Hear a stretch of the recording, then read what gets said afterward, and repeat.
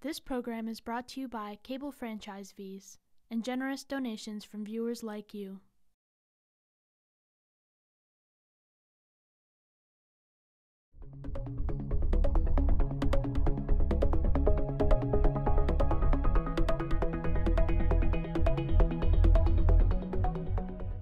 Seeing that we have a quorum of the council present, I'm going to call the meeting to order. We have now been told we are on the air.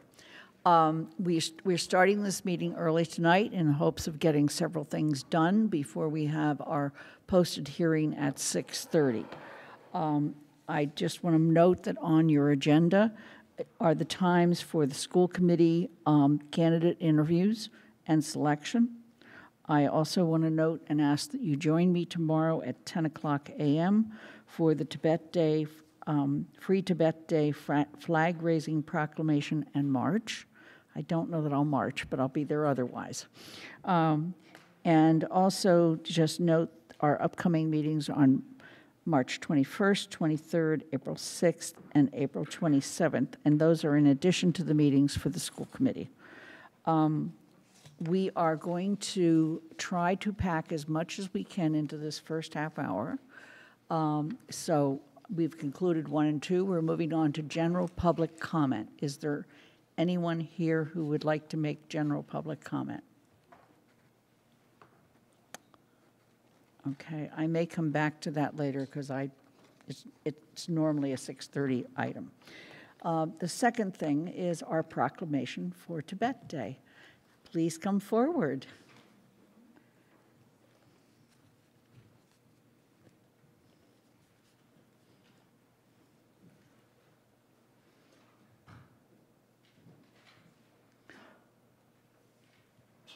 And introduce yourself.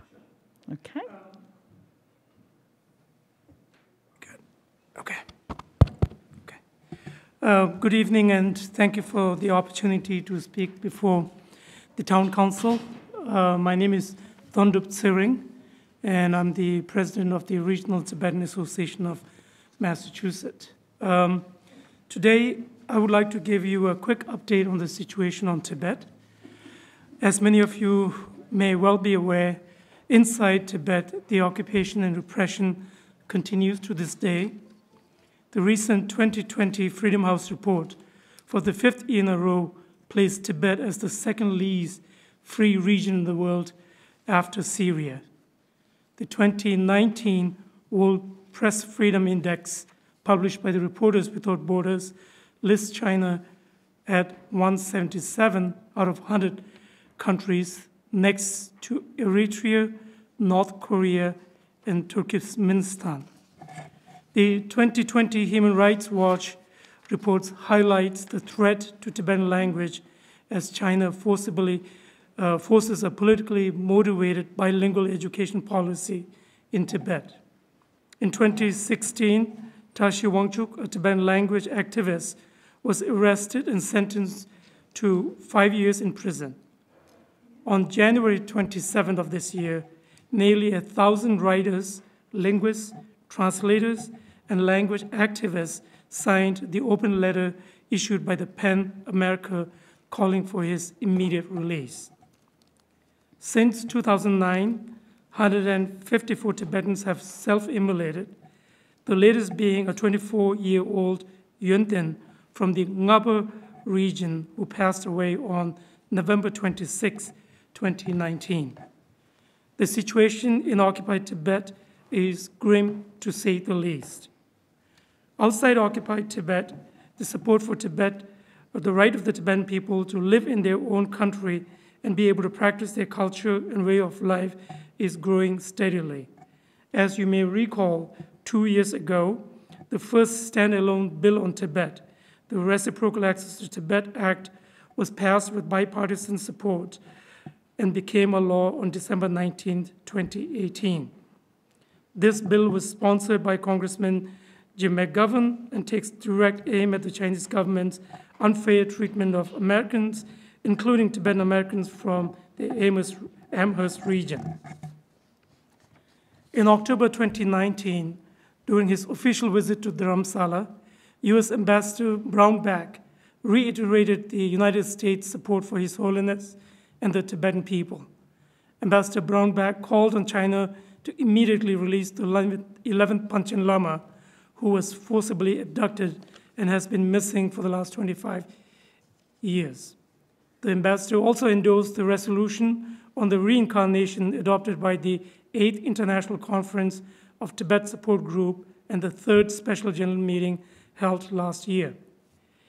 The 14th Tibetan Religious Conference also stated that His Holiness the Dalai Lama, who is now 84 years of age, is the sole authority concerning his reincarnation. Both the Dutch and Belgian government have also expressed their strong support in this regard. In a momentous event early this year on January 28th, the Tibet Policy and Support Act was passed with an overwhelming bipartisan support in the United States House of Representatives. And this bill again addresses and reiterates the fact that the Tibetan community, the Buddhist world, and the Dalai Lama himself has the right to recognize the next Dalai Lama. I, on behalf of the Regional Tibetan Association, would like to thank again Congressman Jim McGovern for sponsoring this major landmark Tibetan bill. This bill is currently in the Senate, and I'm happy to report today that both Massachusetts senators, Senator Elizabeth Warren and Senator Markey, are both co-sponsors of this bill. Locally here in the Pioneer Valley, Tibet continues to re receive strong support from the community and elected officials. On behalf of the members of the local Tibetan community, I take this opportunity to thank Senator Jo Comerford, Representative Mindy Domb, Representative Lindsay Sabadosa, the Amherst Town Manager, Amherst Town Council, Northampton Mayor, and the Northampton City Council for their continued strong support for Tibet. I want to thank the Town Council for supporting the Tibet Day and thank you, Dalai Lama Year Proclamation. We invite you to join us either for the flag raising ceremony or for the walk from Amherst to uh, Northampton starting tomorrow at 10 a.m. Thank you very much. Thank you. Uh, GOL, do you have a report? GOL met on February 26th and uh, declared the proclamation to be clear, consistent, and actionable by a vote of four to zero with one absent. Is there any council question or discussion at this time?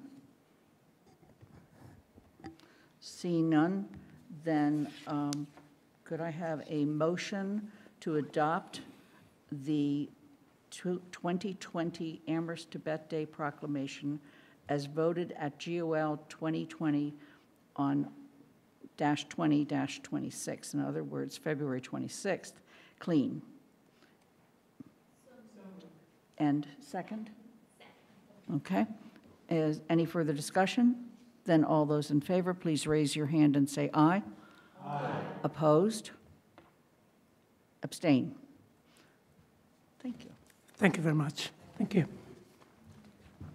Athena, do I give him one copy? There you go. See you tomorrow.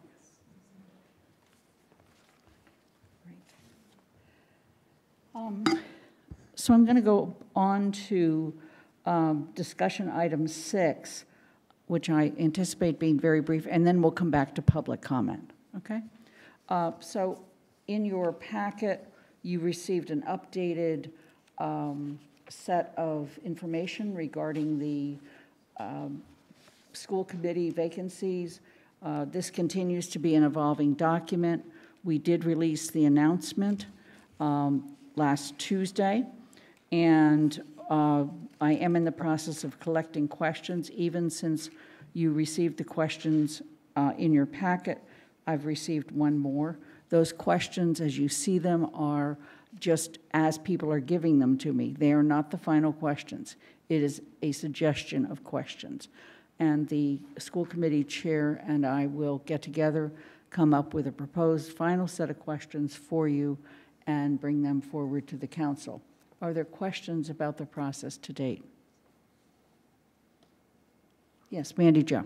I had questions about how, when you get together with the school committee chair, how you're choosing the questions, how many you might be choosing, things like that. Um, We're you know, certainly open Are we going to know them in advance, which ones you have chosen, things like that? we would, we would come up with a set of draft questions and bring it back to this body at our next meeting. And my sense would be that we would follow pretty much what OCA has done with a sense of, you know, seven or eight questions, that kind of thing. I did try to group them to give you a sense of the general areas of the questions. And so as you continue to give me ideas for questions, if you feel there's other areas uh, that we should be raising questions in, please set, tell me that in your emails. Okay? We want to make sure that the questions are stated without bias and also without a preconceived notion. And also, so they're not just yes and no questions, that we get a sense of the candidates. Okay? Any other questions about this? Okay, then, moving on. Um, The, um, now, are there people here who are here now for general public comment? General public comment in this case does not apply to the hearing that's coming up on Lincoln Avenue, to item 7C on the agenda, or 7G. It's just general public comment. Please come forward, state your name and where you live, and also keep your comments to three minutes. Yep. Thank you. maybe two. Meg Gage, District 1. Um, I was clearing up some of my Charter Commission things and came across a really important memo that Mandy wrote, and I've got her permission to share this with you. One of the things the Charter Commission struggled with and talked a lot about, but weren't really able to fully um, resolve, was what is meaningful and authentic participation? And Mandy did this amazing nine-page memo that is characteristic of her work ethic, her open-mindedness, and her attempt to find middle ground solutions. Uh, And I am sending it to you, since I know you're paper-free, uh, as soon as I get home. And so you can see it. It's got um, a lengthy bibliography at the end. And particularly interesting, uh, I think, is the uh, Archon Fung's uh, democracy cube, where he takes three different, there are many different axes, so I don't want to get into too much detail because there's, there's a lot of research on participation. But he looks at the combination of communication and decision-making as one grid. The second is authority and power, and the third is who participates. And all the, all of those intersect with each other, so I think you'll find that, and he's created the concept of a cube, so three-dimensional. Uh, There are, she talks about um, participatory budgeting, about um,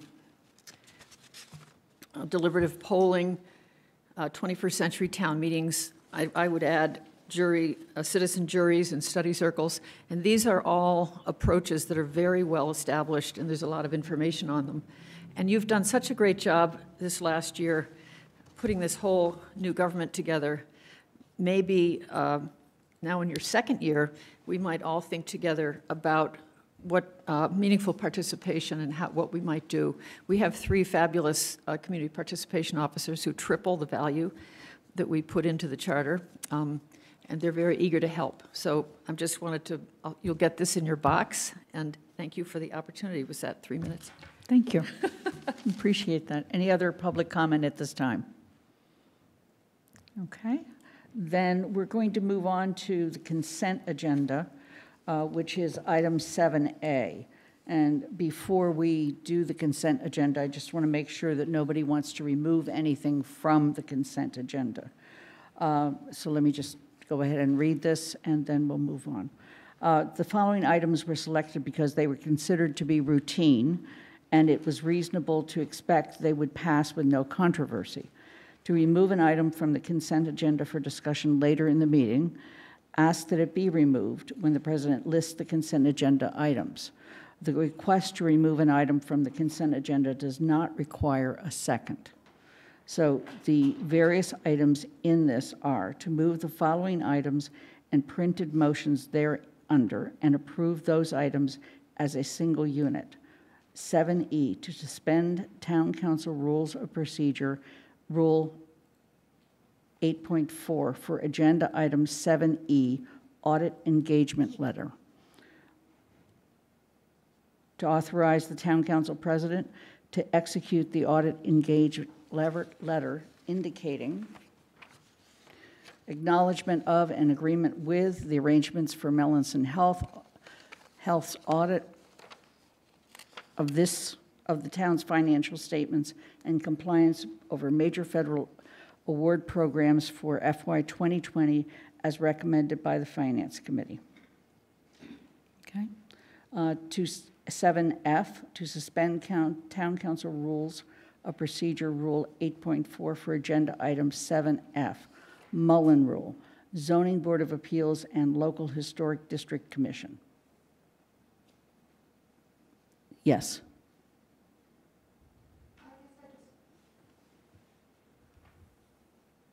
Uh, I don't know why that, we are doing that, so I guess I would want that not to be on the consent We will agenda. remove that, okay?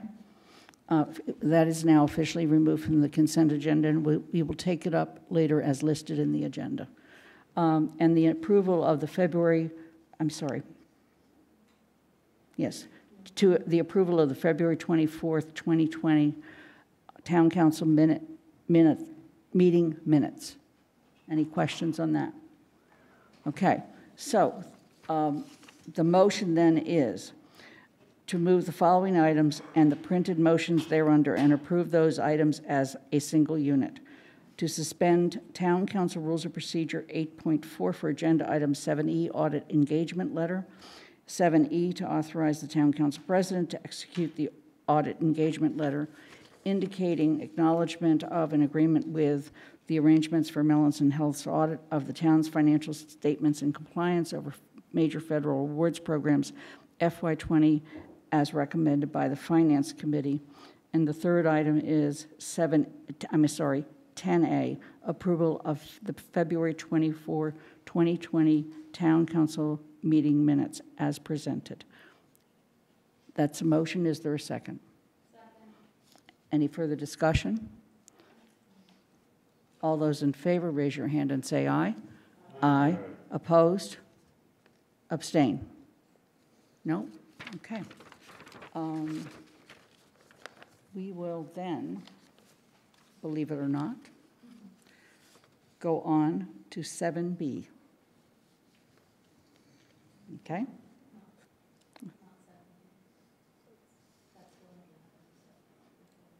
I'm sorry, 7C. Thank you. We will go on to 7C, since we will not start the hearing until 6:30. This is your lucky day, Mr. Sawyer, Dr. Sawyer. Slaughter, excuse me. Um, Okay, uh, Evan, would you please go ahead and present the amendment as you have in the past? Yes, so you've heard me talk about this now twice, amending our open containers bylaw to create the opportunity for the Board of License Commissioners to promulgate regulations to allow for the sale and distribution um, of alcoholic beverages with a permit um, on public land.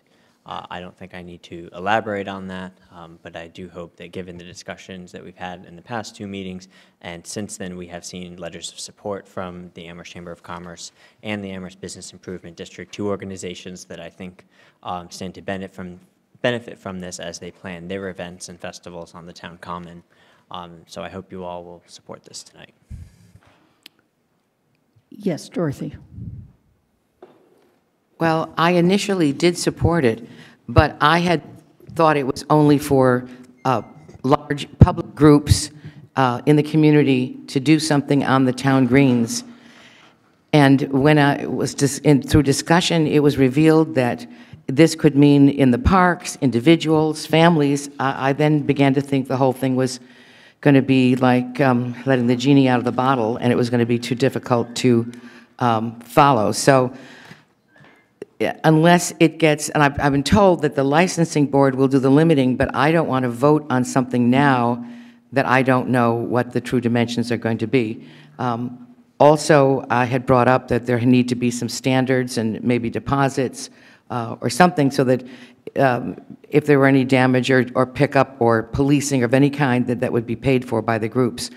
Uh, So, but in theory, I do like your proposal, but it's, it's the details as to who gets the permit, for what and where, and under what conditions that has me, at this moment, not able to support this. Would you like to come forward? Thank you. This is Doug Slaughter, who is the chair of our, excuse me, License Commission. Thank you. Thank you. Good evening, everyone.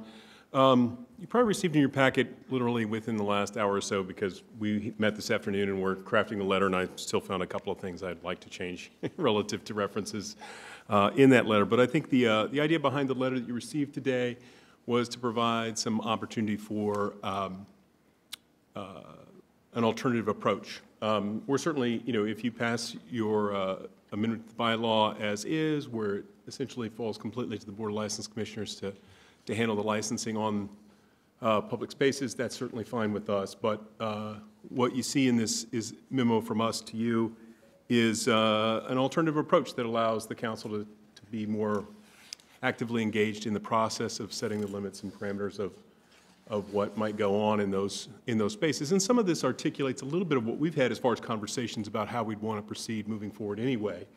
Um, But I think it, it, it uh, potentially could retain some, some authority in the, in the council that might make everyone a little more comfortable moving forward. But again, it's, it's uh, your call either way. Um, One other thing that I was required by my colleagues on the, on the board, on the, on the commission to say is that it really ought to be a license and not a permit.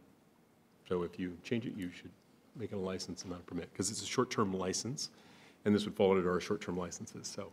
Um, But I think in general, you know, as I said, we're, we're open to um, sort of fully taking this on if you go with the more simplified version, but also uh, in the, in the letter, we're trying to articulate a, a middle ground that might allow the council to continue to, to go back and forth with us a little bit about what the community standards need to be around this kind of a change.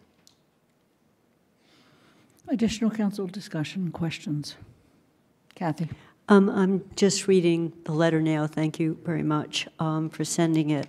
Um, My concern, which I expressed last time, was how broad this was um, and not given a sense of under what conditions and where would we uh, put this. And I think this starts to address some of it. I'm not sure how much of the wording you're proposing would be in the bylaw, but I wanted to say that this, to make it clear, this permit is going for an event rather than a person, you know, so it wouldn't be, each person could come in and say, today I'm going to open carry. And when we had, and this was, well, you could do that in your protocols. And then we had a discussion on, should we start small? Uh, For example, the the commons downtown, um, before we think of going up to Mill River or Groff Park? Should we, you know, start and see how it works in terms of an a- ability to oversee it? And so rather than writing, it can happen anywhere at any time.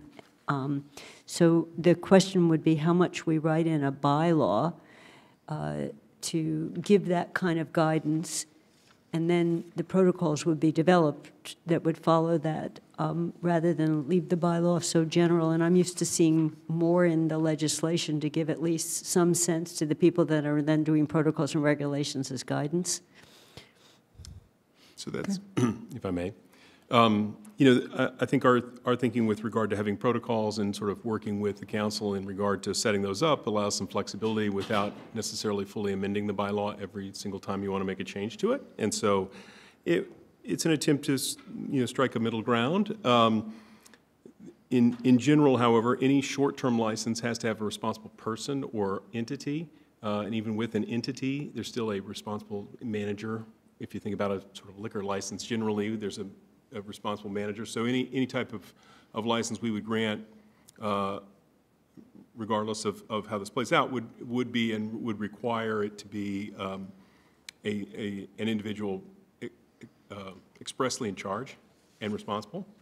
Um, But I think the idea was to keep the bylaw as broad as possible, uh, but yet reference the protocols, and then the protocols have to be in place for anything to happen, and the protocols would be something that would be uh, worked out between, as we suggest, the subcommittee, one of the subcommittees of the, of the council and, and the Board of License Commissioners, and then essentially enacted on and worked on with, with counselors, and we'd review on a periodic basis, like once a year, uh, to see if those work or don't work, um, without the need to necessarily continually amend the bylaw.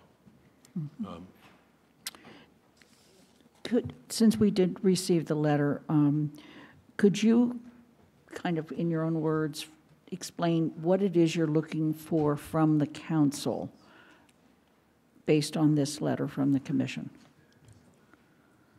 So again, I think if you, if you take the, the uh, proposal just as is, which is, you know, um, very broad, we're fine with that. But as, as an option to you, the idea would be that you would amend the bylaw uh, to have open container, but reference a set of protocols that had to be authorized by a subcommittee of the council and the license commissioners. Those protocols, um, and on the back of this uh, document, uh, you know, articulates a few things that, that might be included. There might be a whole lot more.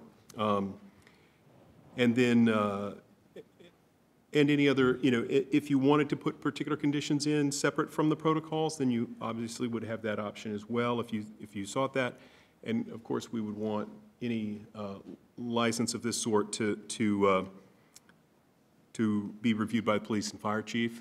Um, So there, you know, the idea with additional conditions is that a particular circumstance, maybe a time of year, uh, you know, where, let's say someone has to, want something in the winter, we might consider, you know, uh, conditions of, you know, snow and ice as part of what we want to factor into what conditions or constraints we might place on, on a licensee, whereas in the summer, it may be something different. Um, So you want to have some latitude to add additional constraints to folks in, in these circumstances, so that's one aspect.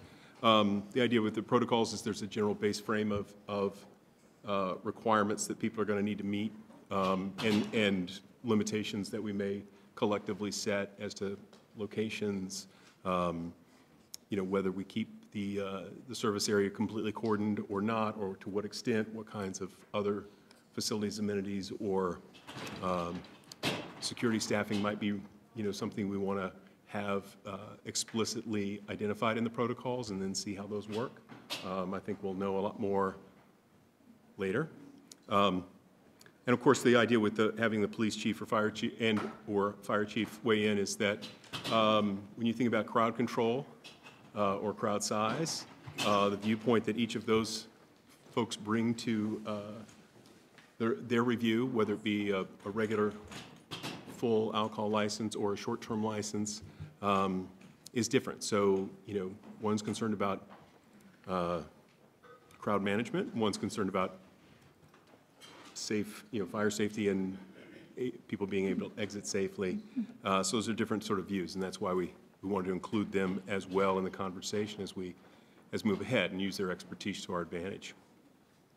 So those are really those three pieces, a set of protocols that work out with you guys to uh, frame the constraints that we're going to operate under, a baseline set of things we're absolutely going to require every single time, limitations on locations, maybe hours, days a week, whatever it is that we decide, potentially other conditions that, that we might impose on a specific license based on the circumstance, uh, the type of event, the time of year, any number of things I could, I could imagine there. And then, of course, uh, coordinating with our police and fire chiefs. Shalini? So this, this is regarding the venue and venues, and I believe, uh, or at least I'm aware that there are many UMass events that take place at the Mill River um, Park, and and many of those are not many. uh, The ones that I'm aware of are all family events, and I believe they would be enlivened if alcohol was allowed. That's what I've heard. And so these are all family events, and if we have protocols in place, and um, I think it would make sense to allow it in and not restrict where this is applicable. Are there other comments? Yes, Sarah?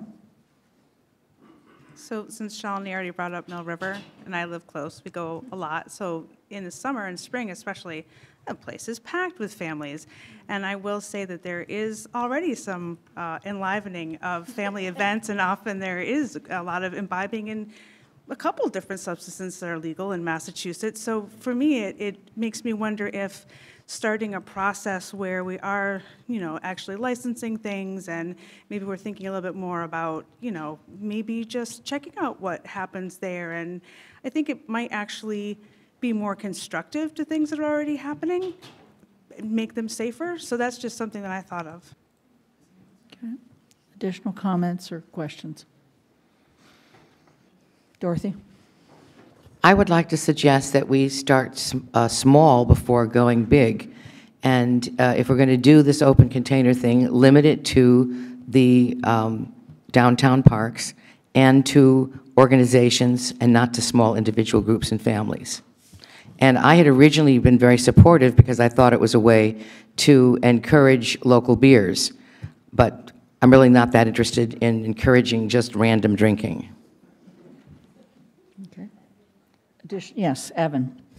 So our Board of License Commissioners has been in existence for a little over a year now, and I think we've seen them act in every instance in a way that should instill confidence um, in them. We have seen them promulgate new regulations around BYOB and around uh, food service uh, at alcohol serving establishments. We've seen them react, I think, very appropriately to uh, a situation in which rules were not being followed, um, and there was concern within the community.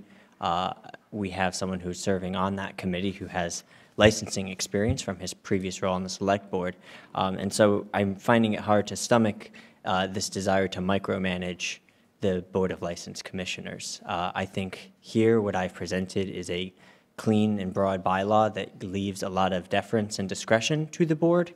Um, And I would hope that we would not try to uh, pick and choose what are our favorite parks that maybe we do or don't want service in, um, and let that up to them. Uh, I appreciate the board's memo and their attempt to address our concerns. I have a lot of concerns actually with what's being proposed. I, I don't want councilors brought into promulgating regulations. We don't do that for any other regulations, um, for the Board of License Commissioners or for any other regulatory body. Um, and I'm especially concerned about any idea that regulations could change from year to year and that they would only exist for a one-year time span. I think that creates uncertainty for organizations trying to plan in advance and for businesses who might be looking to do this. Um, So my proposal from the beginning and what I stand by is open the door for the Board of License Commissioners. Let them decide what the regulations look like. They have a great track, rec- track record thus far. Um, And so I think that the best approach here is for us not to spend time trying to figure out where or who or when we want to see this, um, but instead give it to the appropriate body who has the authority to come up with that. Okay. Yes, uh, Alyssa? So you all know that I have pretty strong feelings about this, and as this continues to evolve, I'm trying to look at it a variety of ways. I had no idea Mr. Slaughter was going to have this memo written, and so I was like, ah, now I have to think about changing my mind? What? so, yeah, so, because I didn't know this was coming. Um, I, I do want to push back just a little bit, though, on my colleague stating that they have experience. They do have a great track record so far, but they've never had to choose. They've never had to choose who gets a license or who doesn't, from the standpoint that the only one-day licenses they've had to give out are to UMass, who gets them all the time. They've never had to choose if a new purveyor of alcohol is up to snuff or not. And one-day licenses, luckily, for the Board of License Commission, ABCC gives a lot of discretion to the local body, which actually makes me happy, because ABCC has a lot of dumb rules. So it's actually good that we have that, but they, although they have done really good things, and I totally agree with that, they've not yet had this experience. I appreciate that they tried to put on paper, hey, we're, we heard you saying we're concerned about some of these things. One of the things that still isn't on here is how you pick and choose between applicants. And that's something you haven't had to do yet, and that is where things get sticky, right? What's this family event allegedly that's a family event versus some Hartford road race or the Taste of Amherst that we all know? So that's where it gets stickier. I also understand what you're saying about, do we really want to insert the council in this process officially or not? I, I, the, yeah, that's complicated too. So I don't think we can resolve this now because obviously we want to move on to our hearing and I don't think we want to expect Mr. Slaughter to come back four hours from now when we're ready to talk about this again. But one of the things I want to just clarify is although you, I believe you'd indicated that with this protocol suggestion that in theory one could add some reference to the protocol to the bylaw itself, just as you suggested that rather than using the term permit, we might as well use short-term license because that's what it is, is that on the other hand, I'm actually saying this, we could authorize the current bylaw without any mention of said protocol. Then if you don't actually do any of that, like you don't, it doesn't end up being a council committee, it doesn't end up that we like the protocols, we just change the bylaw again. I mean, when it comes right down to it, that is one of the advantages to being a town council, is that after you go through the couple of readings and you put it on the bulletin board, if they make a mess out of the situation, which I have no reason to believe they would, but if it starts making us uncomfortable in terms of the choices they're making, we can change the bylaw back. So that is actually, that actually in some ways feels better to me than trying to wordsmith the bylaw to the point of saying the guidance that we're trying to give you that you've obviously been responsive to so far is something we have to try and codify within the bylaw itself because I'm just not sure how to do that. Is there any further dis- discussion at this point? Is it the wish that we move the question or that we refer this to a later time? Yes, I make a motion that we Move the move question. it, move the que- Okay. to a later time. So to a later time? We could, after the hearing, then, but I don't think, No. to, to- to the, to the next meeting. It's either going to go to the next meeting or is another, mo- a motion to move the bylaw. I George, would like to make a motion to move the bylaw. okay, would you please read the motion then? It's to amend general bylaw. The change, right? With the change. With a change of wording? Okay. I, I can read it just because I have the motion in front of me. So I move to amend General Bylaw 3.17, open containers of alcohol, by adding the words, unless a license therefore has previously been secured by the Board of License Commissioners, so that the bylaw reads, oh God, you did this to me. No person shall consume any alcoholic beverage, nor possess or transport any open can, bottle, or other container containing any alcoholic beverage outdoors on any town street, sidewalk, way, or public property, including parking lots, parks, schools, playgrounds, recreation areas, and conservation areas, unless a license therefore has previously been secured from the Board of License Commissioners. Is, Any further discussion? Then all those, George, I want to speak in support of it, if I may, just briefly, if that's all right. please. Um, I, I hear both um, Evan and Alyssa. I like the idea of, I think the Board of License Commissioners is best suited to make these decisions. And as Alyssa's pointed out, if things don't work out, we have the power to change it. So I think we're in a good position here to move ahead. So I'd urge my colleagues to vote for this. Is there any further discussion at this time? Um, just Kathy. quickly, um, but I'm reading the memo as suggesting that we, in the bylaw, reference protocols that will be developed. And I don't see why we couldn't add that, that, that we want Would protocols to be uh, developed. So to conform to protocols developed to govern such short-term Okay. licenses. Would you please put that in terms of a motion?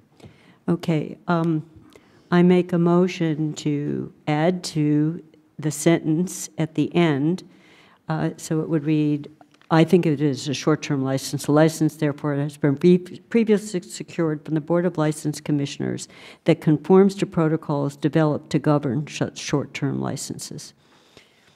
Is there a second? The motion dies for lack of a second. We're back to the original motion. Any further discussion? All those in favor of the motion, please raise your hand and say aye. aye. Opposed? Abstain? Let's. Okay. Okay. All those in favor, raise your hand and say aye. Aye.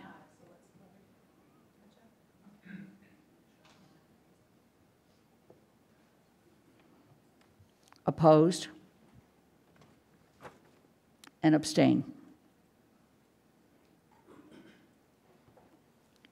Athena, would you please tell us what the vote was? It's 10 in favor, one opposed, and two abstentions. Okay. Thank you for joining us this evening, You're welcome, thank you, and we'll try to do our best to do it right. and we'll be hearing from you, I'm sure. Uh, We are now going to um, move on to the public hearing on the proposed parking regulation changes to Lincoln Avenue. And um, let me start by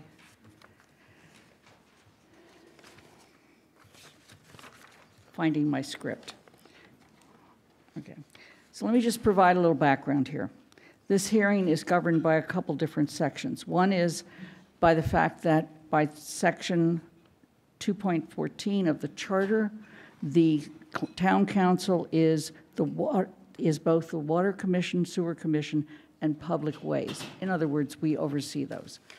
The second piece is in our general bylaws, section 3.14 on parking and delivery. Prior to the adoption of the regulations of any subsequent amendment thereto, the town council shall conduct a public hearing. Notice of the time and place of which and of the subject matter sufficient for identification shall be posted on the town bulletin board for not less than 14 days before the day of the public, of the hearing. And notice shall also be published in a newspaper of general circulation in the town once in each of two weeks. The first publication to be not less than 14 days before the day of the hearing. And then finally, from our council rules, we actually have a process by which we conduct this hearing. I'll be using that process. Let me state that um, the um, the notice of the public hearing was on the town bulletin board on February 13th, 2020, or as of February 13th. It was in the Daily Hampshire Gazette from February 17 to 20 and 24 on 2020. The notice was sent to abutters on February 12th, 2020, and written public comment was received and is in the packets. Uh, We received one set of packets that was dated February, I mean, Friday, March 6, 2020, and we have received an updated. So the general format for the hearing is as follows. There will be a presentation of the proposal. Then there will be questions from the councilors. Then the public may ask questions, not speak in favor or against, but just ask questions to clarify. Then the public is asked, those people to speak in favor, and you will be limited based on the number of people who plan to speak. You will then ask those people to speak in opposition. Again, you'll be limited based on the number of people who plan to speak. And then we will end with questions of the council. We will not make a decision during the hearing. We will then go back into our regular meeting, and at that point, we will make a decision. That decision could be to grant whatever the petition was. It could be to modify it. It could be to continue the hearing to another time, or it could be to refer the, the decision to a committee of the council. We could also decide not to grant it. So we have a variety of different decisions that we can make, but that will not be made during the hearing. However, when we return to our regular meeting is when we will make that decision. So let's begin with uh, Mr. Bockelman. Thank you, Madam Chair, or President. Um, Parking on Lincoln Avenue has been visited and revisited by the town through the Select Board uh, several times, and it's, it's back again tonight. The uh, concern has been based on public safety concerns in terms of uh, safety for cyclists and drivers on the street. Uh, We met with a group of neighbors and with, the- with two district councilors who asked us to look into this further. Uh, I met with the superintendent of public works and the police chief to review the situation, and we developed the proposal that's in your packet tonight. So tonight, we have the superintendent of public works, Guilford, Guilford Mooring, and police chief Livingstone, who, if you want to come up to the table. We also have assistant fire chief Olmstead, Jeff Olmstead here, if there are questions about public safety in terms of fire trucks or ambulance service. Um, so our goal tonight is to make the presentation to you. Um, answer any questions uh, or concerns you may have, uh, develop any additional information you feel that you need to uh, make an informed decision, uh, and then listen to any other comments that you choose to make. So I turn it over to Mr. Mooring. Good evening. So this is probably the fifth, fourth, fifth time we've done Lincoln Avenue since we've been here, and we've been here a pretty long time. Um, So there's always been little changes that have been made, always adjustments, always a couple years, five usually at the least, um, years go by and people want to make some more changes. So this is about the right time, about the right time. Um, That being said, we have a lot of old information, and we have a lot of new information for you. So I just pushed the button.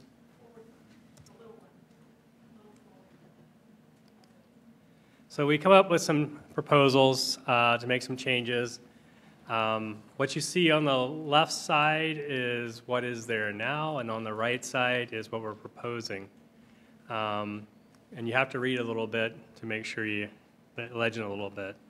So right now, there's basically no parking on Lincoln Avenue north of Amity Street on the west side, and north of Amity Street to Fearing, there's parking, no parking from 8 AM to 5, wait, sorry. From McClellan Street to Fearing Street, there's no parking from 8 AM to 5 PM, and there's open parking from uh, McClellan Street back to Amity Street on the east side. So we're proposing to change that to make it no parking from 8 to 5 on the east side, all the way from Amity to Fearing, and to keep the no parking on the west side. Um, So that's what the basic proposal is. We also do some tidying up. Um, There's been a lot of discussion about, from the people we've talked to, that it's hard to see when people are parked, or even when there's not people parked, coming out of McClellan Street and Elm Street. And actually, when we talk about some of the crash data, we'll talk about a little later, the little blue area, that's basically where all the crashes are on the north side of Lincoln Avenue. They're between Elm Street and McClellan Street. Um, There's not a lot of crashes. Uh, There was three years of data looked at. This year was, or 19 was not looked at. It was 18, 17, 16 is my understanding, is what we looked at. Um, The total of 29 crashes on the whole length of Lincoln Avenue. Um, But this is probably the cluster between these two streets. Um, And we'll talk more about that later. But we make some adjustments at McClellan, so there's no parking on both sides of McClellan Street at Lincoln, so people have a better sight line coming out of McClellan Street. Um, We're also uh, proposing making a better sight line clearance at Amity Street. Um, There's a lot of people who park at Amity Street very, or on Lincoln Avenue, very close to Amity Street. Uh, It's mostly, seems to be people who are staying in some of the housing near that intersection, or it could be people who are working um, in town and walk up to the center of town. Uh, We did kind of scope out the uh, people who are parking. Um, The parking tends to be probably grad students who work five days a week at the university. They're not really students because students tend to have schedules where they jam all their classes on Tuesday, Thursday, try to have Monday off and Friday off, but these people are parking consistently on five days a week. Um, So there's probably a majority of people are, are grad students who actually are employees as well. So they're people who are not parking on campus to avoid parking on campus, or they haven't been able to get a permit to park on campus, because I understand there's a permit system for graduate students who work there as well. Um, So this is the, like, like I said, this is the little cl- crash cluster right there at, between McClellan and Elm Street. Uh, We're not proposing anything different on the south, what we call the south end of Lincoln, which is from Amity back to Northampton Road. So this is the accident breakdown that people were talking about, asking for. There was 29 accidents, six on the south side, 12 on the north side, and in that cluster between Elm and McClellan. We have one accident that's un- unaccounted for. The description of where it happened wasn't really clear on the accident report. Um, We also have a couple other little oddities in the accident reports. Some of the addresses on Lincoln Avenue don't exist. but if you add a zero or add a number to it, they fall into line with some of the existing addresses. You have seven accidents that were at the Amity Street intersection and three at the Northampton Road intersection. We, uh, we, we pull this data, and actually, we have the ability to pull this data from a state file now, which the police department submits their records to the state, and then it's put on this uh, system. Uh, We just need a little more time if we want to pull more information off, because there's also information about types of accidents. So we didn't, weren't able to pull all that information together for you. So if they were all rear-end accidents, that's indicative of people who aren't really paying attention and people stopping fast and someone rear-ending it. If they were all head-on intersection, head-on accidents, that's another indication of something, another different problem. If they're all glancing or side impacts, that's another indication, another problem. We weren't able to break that down, so I can't answer that question because I know someone's going to ask that. All of the errors were at the state level, I believe. Well, it, it, it is a lot of, it's a lot of data to go through, and I imagine whoever was entering the data, because it's all hand entered into the system. There's a quick clarifying question. Steve? What's the time period? This is three years, eight, uh, 19, no, 18, 17, 16. Thank you. Clarifying question on this one?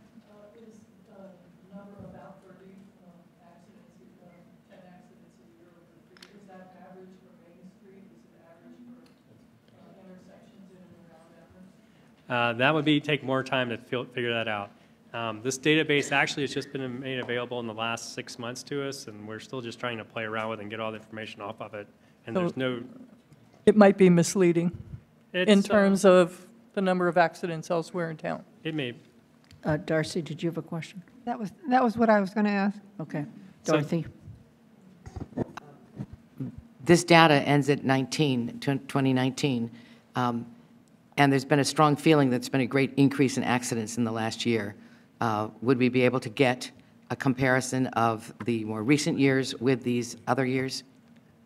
the chief says he can pull that up. We can pull that up within a matter of a day or so. Okay. So this is the breakdown of accidents. We have one accident with an embankment, which I assume was in the winter. They probably ran into a snowbank. Two people hit parked cars, 26 collisions with moving vehicles, and there are no pedestrian or cyclist accidents. So that we actually did get our, we actually had to go get new traffic counters, but we put traffic counters out and we did a uh, tr- quick traffic study. Um, And this is sort of the, um, this overall time period and the- the view of how the traffic flows. You'll see there's distinct peak, peaks. Uh, The morning, the peak happens going into campus, and then the afternoon, the peak is coming out of campus. The average daily traffic is 1,960 vehicles a day. That's down a 1,000 vehicles from when we did the, when we did counts in 2005. So before we put the speed, the speed tables in, the speed cushions, the speed humps, um, speed bumps, uh, before we put the vertical speed control measures in, that's the better word for it. Uh, We were getting around 3,000 vehicles a day, and the speeds were pretty high. Um, uh, Jason, the town engineer, wasn't able to pull that data up, what the speed was, but it was over 35 miles an hour at that time. Um, So this is the, uh, we've cut about 1,000 vehicles a day out of the path, and that could be because of what we did, or it could be because of changes at the university. And then this is a quick breakdown of speeds. If you look on the right, the speed limit's 30 miles an hour. The average speed was 19. The fastest speed was 47. The lowest speed was 7. Out of that, this, this device we're using now is actually kind of geared towards uh, enforcement people. So it actually tells you how many violations were probably enforceable. So there were only 10 people who were over the 30 miles an hour. And then, so what they would rate as a low enforcement area because of the, these characteristics. Okay. In the time period we did it, we got 5,700 vehicles pass through the, the time area. We started after 10 o'clock on Monday, eh, which as you can see is 9:56, and we finished before, a little after 10 on the 5th. So we actually didn't get the morning rush on one day, and we didn't get the afternoon rush on another day. So what we're proposing again,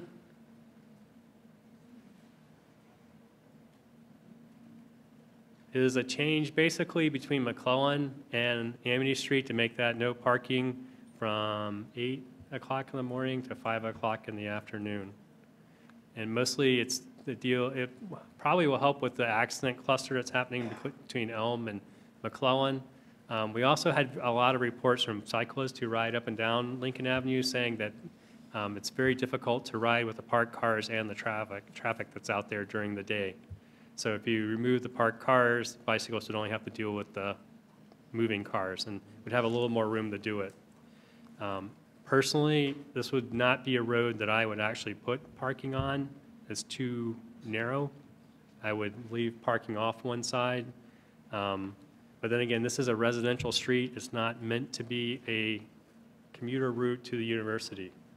And if it was a residential street, just a residential street, there would be parking on one side. So that's my, my personal opinion and how I would personally look at this. Um, Any further comments from either chief or you? Okay. Councilor questions at this time. Mandi Jo. So my first question just has to do with the map, because when I read the regulations and when I look at the Nelson Nygaard downtown parking report, it disagrees with the restrictions that you've depicted specifically between Amity Street and Elm Street on the west side. The Nelson Nygaard report that was just completed four months ago says that that is unrestricted parking right now on the west side.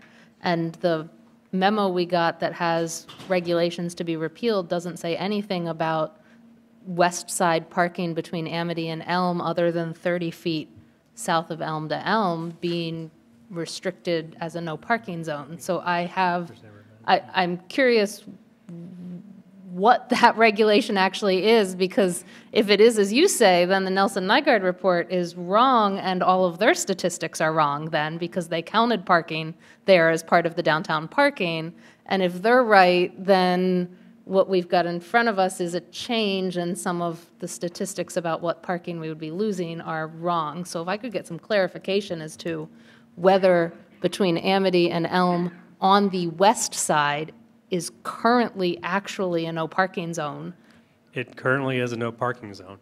We went back through the regulations, we pulled some things up. There's actually some conflicting data, um, conflicting regulations, and, but this is no parking, and it's always been no parking. One of the other issues we have in this area and throughout the entire town is we have a high, a high incidence of sign theft.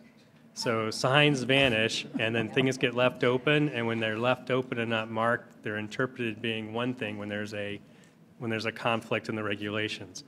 But the town engineer went back through everything, and he's pretty confident, and we went through it several times, that there's never been parking allowed on the west side of Lincoln between Amity and, and the college, university.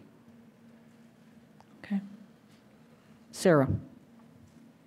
I'm actually glad that, that Mandi brought that up because I actually had three phone calls from my precinct, which is very far away, about people saying that they actually parked there and that they felt that it was like some of the only unrestricted parking there is and that they were able to do it without getting a ticket. So I'm wondering if people are parking there, that they do think it is, and then maybe because it hasn't I don't know, not enforced, or people think they can, then does that change some of the statistics? No? No, if they were parking on the west side of Lincoln, A, we would have been called by a resident, and they would have been ticketed and towed. It's just, there's no way you could possibly park on both sides of the street and adapt to, to traffic. Steve. So for me, this shouldn't be an issue of this particular street, but this should be an issue regarding the town policy on parking of streets based on the curb to curb, like how much roadway there's available for parking. So I think it's, to me, it's a problem that this has become sort of a Lincoln Avenue issue, because I, I, I think that um, this issue exists many other places, and I'm happy to provide. Oh, wait a second. I think this issue exists many other places. So to my knowledge, this is 23 feet curb to curb, yes? I, I think it's 30, we were just trying, that's what we were just talking, I think our citations say 30 feet. yeah. Yeah. But so I, wa- so I've become a citizen traffic engineer, so I've started measuring rights of way on Churchill Street, where the police parking lot exits is, to my knowledge, 30 feet. It is. And it um, has parking on both sides, so I've never heard complaints about that. Smith Street, I think, is 20 feet or even less, and has parking on one side. So to me, to me, we need um, more of a guideline on what the expectation is on town streets, and I think the town needs to be aware that your street may have these restrictions coming on. In other words, to me, this is kind of precedent setting if we, if we change this. That, um, that means that every street of this right-of-way might have parking on one side or on no sides because of the concerns about traffic flow. Kathy? Um, I, I think this is a, a, a type of follow-up on Steve's question. It's, I'm looking at the existing and proposed. Um, if I move one street over from Lincoln, Sunset, you know, um, thinking of if we move cars off of one street, do they end up on another street? And Sunset's got, um, at least what we've seen so far, no changes. There's no parking on either side up until Elm, and then it's green going over on the way to Amity. So, you know, I know we only asked you to give us a recommendation on Lincoln, but thinking about this surrounding set of, um, is this also, does this become the new throughway, or is it so narrow? Would you do no parking on one side of that at least, you know, where you can park on both? It looks, from the map, you can park on both sides of Sunset. It's just down the hill a bit, so people probably prefer Lincoln, um, depending on where they're going. So it's, it's the overflow issue of where else you might want to if you were trying to get to UMass. I think that's logical. I think we'll expect that'll happen. Sunset is the only place that people who are displaced from Lincoln can really go to, that little stretch of Sunset. Um, The parking on Sunset has not been a problem in a while.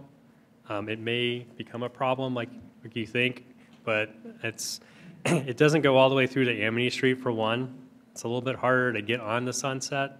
Um, If you want to go from Sunset and drive straight through to campus, it's a little more difficult. When we were doing a lot of studies in, earlier on, Sunset was not the preferred travel route to go to the campus, so people didn't really even think about driving, Right. driving down that way. Yeah, I agree with Guilford. I don't think it necessarily would become the new thoroughfare to UMass because of the problems um, down thr- through the dormitory area, but it's likely it would become a parking area, yes. Am I correct? Am I correct that there are speed bumps on all of Sunset? Sunset and Lincoln, yes. Yes, okay. Mandi Jo? No, I, Evan, I want to follow up with this size, and if the cars move, Sunset is probably no wider than Lincoln, so would we be facing in another three months or six months a request from the town to say, well, we need to now completely limit one side on Sunset and no eight to five on another because we now have a safety issue on there? And if we wouldn't be, why is it a safety issue on Lincoln but not on Sunset? And a similar question is, why is it a safety issue on the north side of Amity on Lincoln, but not on the south side of Amity on Lincoln, where those cars are parked in front of those houses closest to Amity on the south side, on the east side of Lincoln, on the south side of Amity, to go to town? So I'm, I, I'm trying to figure out where your um, decision on what a safety issue is and what it is not falls. So uh, we were given a, we were given a small area to look at. So no, we did not go look at Sunset. We did not go beyond Sunset. We can do that. And to tell the truth, to actually come up and say we need to change some parking regulations on a lot of streets downtown would make life much easier for many of us who do things in this town. Um, there's several streets which are parking on one side and are two-way streets, which should There's no way you can get two-way traffic down the street and have a car parked on the road. Someone has to stop and let the other car pass. Gaylord is one. Gaylord is so narrow, you cannot have parking in two-way traffic. Um, There's another one, Selin, Selin? Selin, Dickinson, as already mentioned, I mean,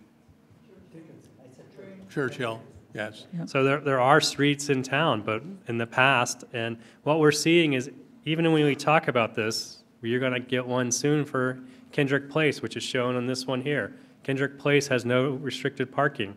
Kendrick Place, it's the one down off Northampton Road, has all of a sudden become the primo parking spots for some people. There's parking on both sides of the road there now. Um, It's, uh, it's hard to get through there sometimes. So there is no, I have not, since I've been here, found a rhyme or reason sometime why a, a place is a key parking area and then stops being a key parking area. It seems to be the preference of the people who are parking there. They think they, they, they like it, they will park there. Um, There was a parking problem over by the high school, and they thought it was the high school students. Well, it wasn't. It was UMass students who were actually students who would park there and walk to the bus stop. And that walk from the high school to the bus stop was shorter than going to Lincoln Avenue and walking in or any of the other ones, and it was more convenient for them. But then that group of students left, and the parking problem went away again. Now the parking problem is just the high school students again, which is a nicer problem. Um, So the parking in this town changes and moves around constantly. I, I guess I have a, Yeah, I want to give Evan a chance to ask his question. Yeah, I, I would yield, yield to Pat. Oh, Pat. Mandi Jo largely asked what I had curi- was curious about, so. Okay. Pat? I, I just had trouble with what you said in terms of the college students and having the high school students doing the same thing as a ni- nicer people or a nicer kind of problem. And I don't get that, and it really bothered me. So let me explain that. Yeah, I do. The college students start as soon as school starts. The high school problem doesn't start as soon as school starts. Because you get a new group of students at the high school, they're all underage. They can't drive. And as the school year goes on, they start getting more and more drivers. So the problem builds at the high school. It's not really a nicer problem, but the problem starts out minor and then as the school year goes on, it gets more intense because now more people have turned 16 and a half and they can drive their car to school. And because they don't want to pay for a parking permit for a full school year when they're only using it for half a year, they park on the side streets in the neighborhoods. So the parking problem for the high school is far different than the parking problem the UMass students. A UMass student comes here, the UMass student's 18 years old usually. The UMass student's been driving and will drive. That's why there's a, a little difference between the two populations, between a UMass student or Amherst College student and a high school student. Yes, please. But there's still parking there, and we actually do allow them to park on those side streets, right? I know we have at least one councilor, if not two, living in that area by the high school. So I guess I'm still struggling with what's the difference between those side streets where we allow parking during the day for those going to the high school and Lincoln? There really, there really is only the desire of the residents at the time to try to, to correct a problem they think they have. There are times when it's more of an issue of safety, and we can sometimes see that, but it is really sometimes the perception that the problem has gotten worse and that needs to be addressed. There is no one on staff who goes around and keep, and does traffic counts routinely and looks at the neighborhood streets routinely to see how things are changing. That is not done. Can, I- can I just take a moment and say, the hearing is about Lincoln Avenue. What I'm gathering from this conversation of, and questions from the council, is a set of much larger issues that pertain to parking in and around both the university, Amherst College, and the high school, and where it is safe and not safe. And perhaps that leads to a much larger question. However, that is not the question tonight before the council. Lynn, that feels like a, an artificial limit because we have to reference other streets to do some comparisons. Uh, We're talking, I, I'm not suggesting you shouldn't reference other streets, but what we can't do is make this hearing a hearing about parking in all kinds of places. We can reference other streets, we can ask about it, and what I think But we're doing- referencing parking on other streets. Right, but So but what I- it is doing is identifying a much bigger issue that we may want to have a much larger recommendation come back to the council for. That, but tonight, this hearing is about Lincoln. Yes, Andy?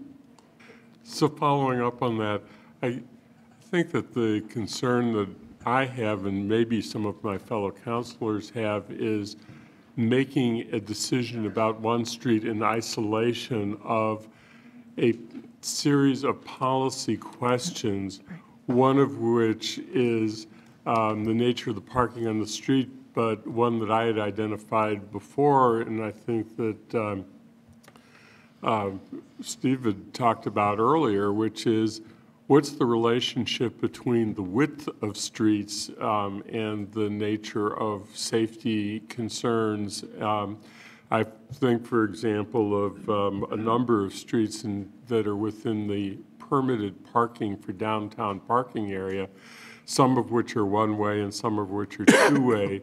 Uh, Prospect Street North and South, Seelye Street as being two examples that are extremely, uh, I think that they're probably narrower streets than the one that we're talking about.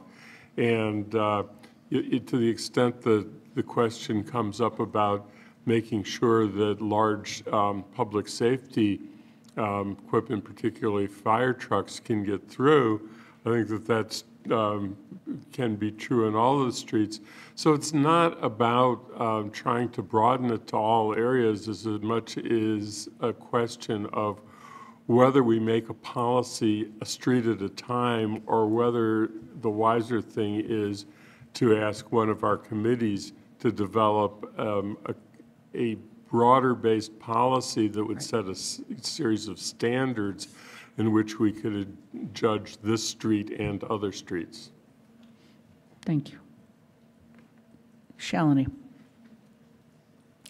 So on the one hand, oh, there are serious concerns, right? I mean, as I was reading the emails, it was scary to see the turns that people need to make and uh, the danger that uh, raises for these people, as well as when they back out of the driveway. So those are two serious concerns I was hearing. And then on the other hand, I'm seeing the public parking as a free resource for the community. And so is it fair to take that away from people, from students and workers? So, and then hearing the discussion right now where we have to look at the bigger picture of how, you know, I really appreciate the residents raising this important issue because I think this is an issue in other places and we got to address it looking at the bigger point of view. But in the interim, is there something that can be done to uh, mitigate the effect, the dangers, you know, like when they're cutting into, like from Elm Street, if they're going onto Lincoln, could there be more space left so people can see the cars coming, at, you know, driving and so forth? Is there some interim instead of making the whole street not parkable? You, you could, you could back up and make maybe 100 feet across Elm Street, no parking. Sort of the same thing as we're doing on McClellan Street, where we're actually widening out the sight distance triangles where you're turning. You just want to actually create a, a buffer across from Elm Street, so there's more swing room. You could do that. You can, it's, um, yeah, it's not hard and fast. If you want to leave some things the way they are, or make some changes, or Dorothy? Um, I have a question about, and this is really for the uh, fire department. Um, Talking, of- starting with the, what uh, Shalini was saying about uh, more space at the intersections, which is part of your plan.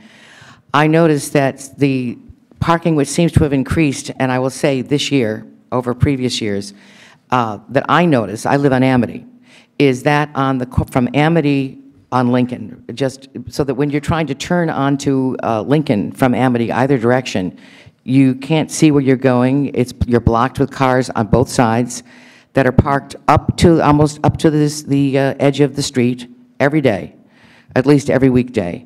Um, And I know that uh, Lincoln is seen as a major road to the university, and that would be a road for the fire department. What do you think is necessary to do in, on Lincoln to make it um, a, a place where if you got a call to go to the university, you could get there without hitting cars? So we need about 12 feet of clear width, mirror to mirror, to travel pretty safely with a fire engine. What you do with the other part of it, you know, we leave to you, but we need 12, 13 feet of clear space and to uh, travel down the road so we can get our trucks where we need to go. So would we have that if we had parking on both sides? I don't, I don't think so. I doubt you could create. Right. We'd have to measure it, be sure, but I Right. don't believe looking at it and certainly looking at other streets where if you had parking on both sides that we get 12 to 13 feet, but we can confirm that. Because we often do have parking on both sides, and we have two-way traffic. So if we had parking on one side, which is how many, 12 feet, and you need 12 feet, and there was no parking at all on the other side, it would be safe? Let me just check the dimensions with Guilford here. You're talking about the south side of, Lin- what we call south side of Lincoln? Yes. Towards town. No, are you talking about, It's- It's north. I'm talking about Lincoln, North of Amity From- Street. yes, Yes, north of Amity, going towards the university, but right there at the edge of Amity as, as you get onto Lincoln. Well, We actually now have a restriction for 120 feet. You can't park on either side 120 feet from Amity Street. You mean proposed? No. Currently, there's a Oh. 120-foot buffer from Amity Street into Lincoln. That's not being observed.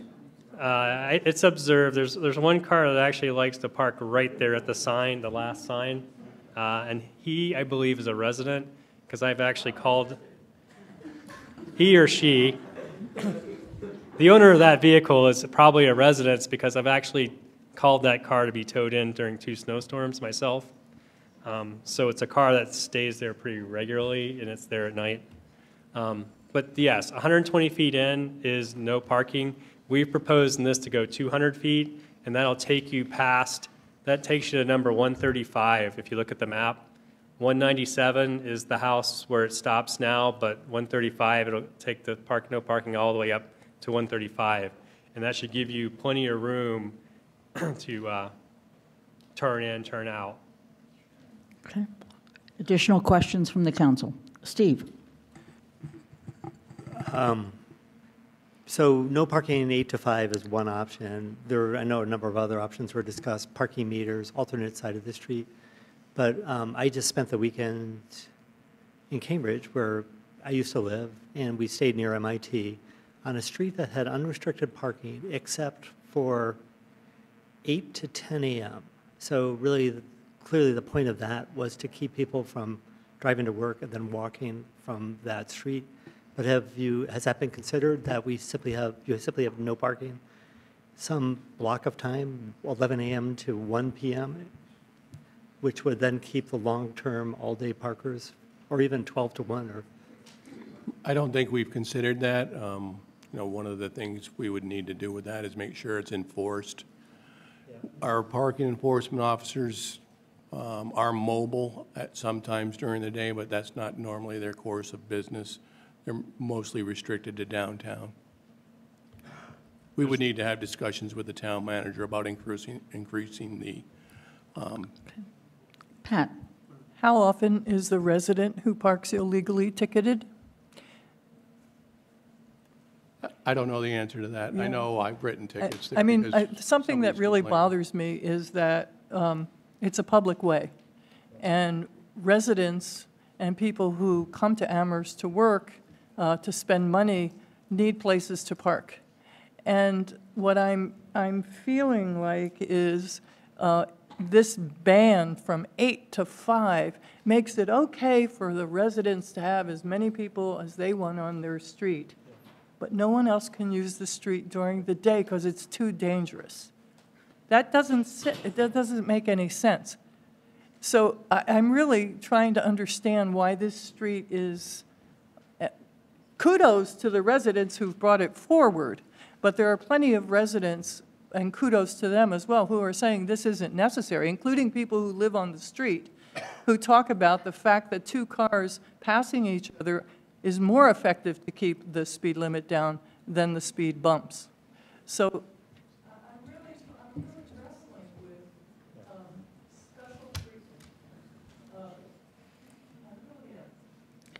It's my working class. Okay. Are there any other questions to clarify the presentation at this time from the council? So we're going to move to the opportunity for people in the audience, uh, the residents who are here, to ask questions about the presentation.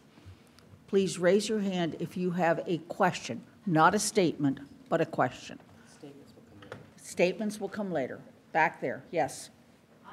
Please come forward. I'm sorry, let me state the rules. You must come forward, you must state your name, where you live, and you must stay within, I'm going to say, a minute for questions, right. okay? My name is Louise Riley. I live on the corner of Gaylord and Lincoln. I am in District 4. Most of these folks are in District 3.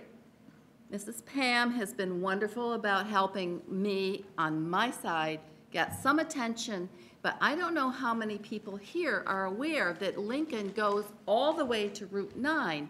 All the conversation I'm hearing today is from Amity to the university, and we have no speed bumps. I have written letters several times, starting in 19, I mean, uh, 2015, suggesting that there be parking on the west side, not on the other side, because there are many fewer driveways, there's a sidewalk.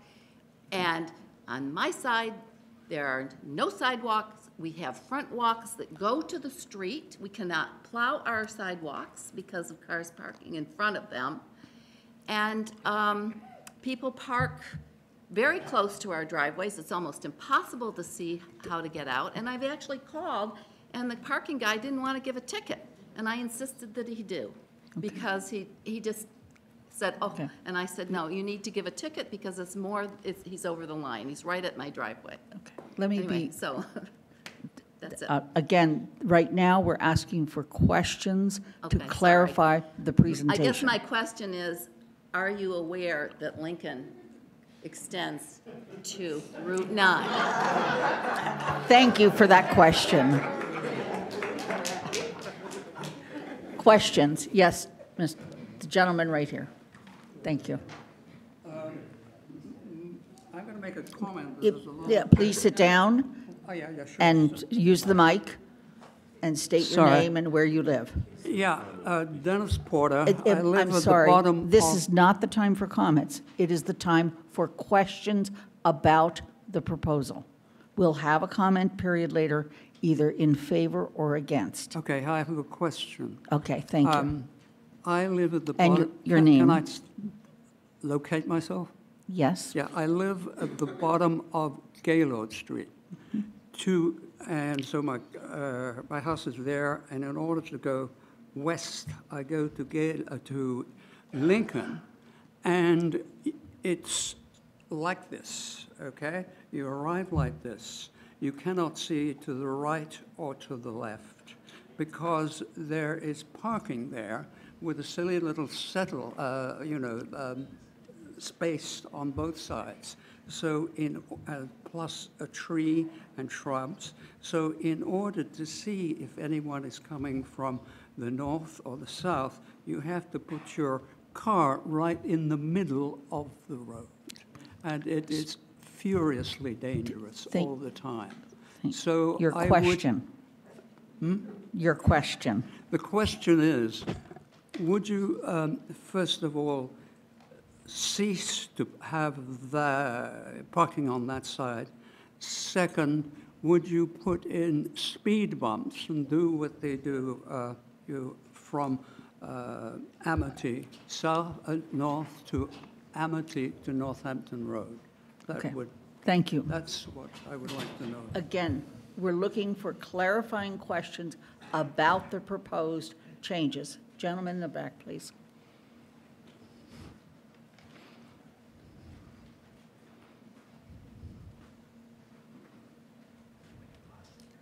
I'm going to try to ask questions. I, I certainly hope so. My name is Jim Barna. Um, I'm a, uh, I'm a property owner here in Amherst on uh, 34 Dana Place. Um, And I'm also an employee of the University of Amherst. Uh, I park on that street, And um, my question is, would the council consider the rights of people that want to use this vital resource in their delib- deliberations? And will they actually get information about who parks there? And will they perhaps refrain from discriminating against certain categories of citizens who happen to be students, who happen to be employees, who happen to be working people, who happen not to own property on the street in question? This town has parking issues, and the only way to deal with it is to have as much parking available for as many people as possible. And I would like the, the government of this town to consider uh, whether they are doing damage to the future transportation needs of this town by considering ad hoc restrictions to parking. Thank you. Thank you. Questions only. Questions about the proposed changes. Yeah. My name is Mattia Kramer. I I live on East Pleasant, so not in this neighborhood. My question is about the proposal. There's a hotspot between Elm and McClellan. Um, Is there a consideration to just ban parking in that hotspot as opposed to the entire area? Thank you for your question. Yes, please come forward, ma'am.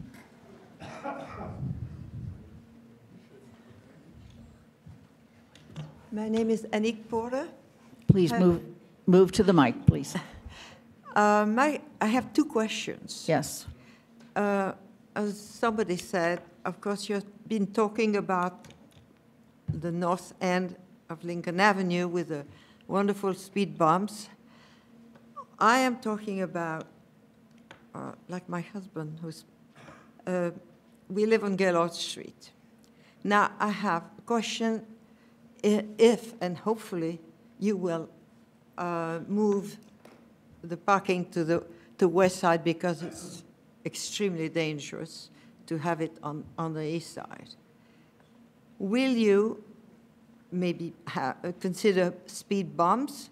Because I can assure you that on Gaylord Street and on the south side of Lincoln Avenue, people do not drive at 30 miles an hour. In fact, sometimes they, they, they drive at 40 miles an hour. And my other question is, which I think pertains to the, to the security of going uphill on Lincoln Avenue when it says it's 30, but people so rush to the.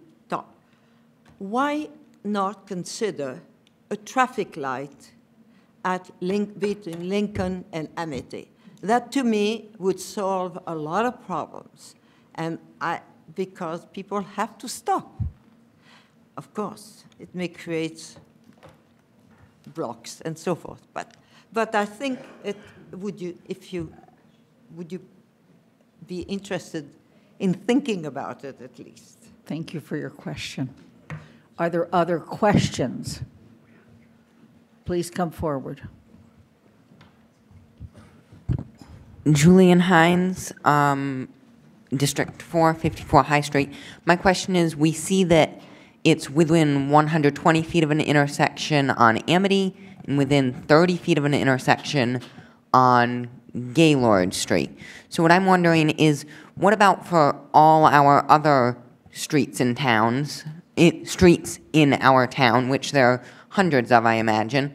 Um, I'm wondering, what is the rule for those streets about how close you can park within an intersection? And does it vary within every intersection, or is there a hard and fast rule, no parking within 60 feet of an intersection or whatever? Thank you for your question. Are there any other questions at this time? Questions regarding the proposal? Uh, Rick Peltier, 160 Lincoln Avenue. Does the council know how many children live on Lincoln Avenue in the area of interest? Thank you. Any other questions? All right, we're going to now move to the period where the public who is in favor of the proposal of, that has been put forward by the town with regard to Lincoln Avenue is to make comments. how many people would like to make comments? All right, let me just say, once a comment has been made, could I also ask you not to be redundant in the interest of everyone's time? We'll start with our initial petitioner. Please come forward. And I'll give you three minutes, but if we go further than this, I'm going to start restricting you to two minutes.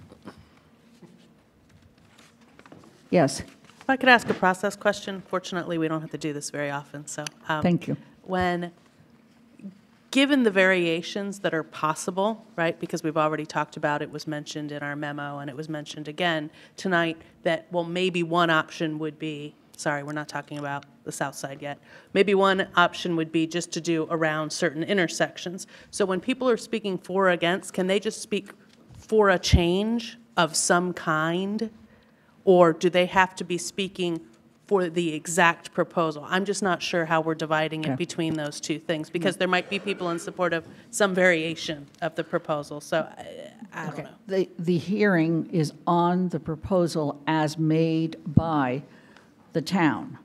If, in speaking to that, you have other ways you'd like to see modifications, certainly you might include those. But we are really speaking about this part of Lincoln Avenue and the proposal for this part of Lincoln Avenue. Please introduce yourself. I'm David Sloviter. I live at 194 Lincoln Avenue. Lincoln Avenue is unique in its function. It is the only street, other than Pleasant Street, that connects Amity with full access to the UMass campus and parking lots. As a result, the flow of traffic is constant during weekdays when UMass is in session. Many delivery vehicles choose to use Lincoln Avenue rather than deal with the traffic lights, pedestrians, and traffic on Pleasant Street. The restricted travel lanes that exist throughout the day as a result of the row of parked cars has created a situation that makes travel on Lincoln Avenue difficult and unsafe. There are delays, near misses, and difficulty turning onto Lincoln throughout the day. It is the combination of the volume and the loss of the full width of the street for transit that has created the problem. If the frequency of near misses on Lincoln occurred in the airline industry, the FAA would shut down airports until the problem was fixed. The town manager's proposal deals only with a limited problem on one street and is not part of a townwide solution, nor should it be seen as one. It does not in any way propose eliminating parking on any other streets. The proposal recognizes the unique aspect of the volume of traffic on Lincoln and addresses the specific problem from which town residents are seeking relief from the only authorized body that can provide that relief. This is not about a neighborhood asking for special treatment, but rather a group of Amherst residents asking town council to protect them and all the people who use the street. This issue should not be seen as a conflict between residents and UMass staff. We recognize that UMass staff are under financial pressure like many others. We have no personal conflict with their attempts to save money and, in fact, sympathize with the challenges they face. We do not, however, feel that it is the responsibility of the town of Amherst in general, nor one neighborhood in particular, to bear the burden of UMass's failure to properly accommodate their employees and ask those residents to live in an unsafe situation. We want to thank the town manager and staff for being receptive to our problem and responding to fix it. The current situation benefits a few, but it is a burden to many. It needs to end. Thank you Thank for your, excuse me, we don't, I must ask you not to demonstrate one way or another, in favor or against. Thank you. Who else would like to speak in favor of the proposal? Please come forward.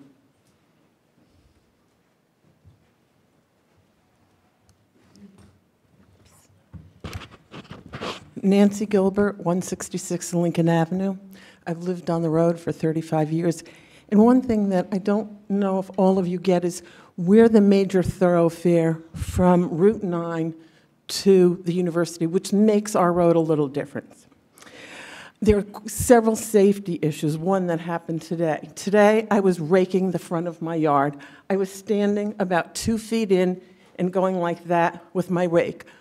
Car, because there were cars parked across the street, came right on the curb, and my rake almost went into that uh, car, and he beeped his horn. That's, and he was coming pretty fast. I stand there, I have my grandchildren three times a week. I have a four-year-old. I hold his hand. If he were to ever just look like that, he might get hurt, hit by a car because they, they literally kiss the curb when their car's on the other side. Twice in December, when there was snow, I pulled out. I basically stopped. Another car was coming down quite slowly, and both of our side rear mirrors clicked. Um, we also have trouble if there's oil delivery. And if there's oil delivery parked and they're pumping out oil and there's parking across the street, a fire truck, a police car, or an ambulance could never get down the street. And we've had many accidents in the past at different spots on the street, and they were sort of taken care of. There was four-way stop and on Fearing. I just hope that there aren't serious accidents, especially of children getting hurt or injured or killed on our street because it's not safe to cross or even be within four feet of your um, curb on your front yard on the west side. Thank you for your comment.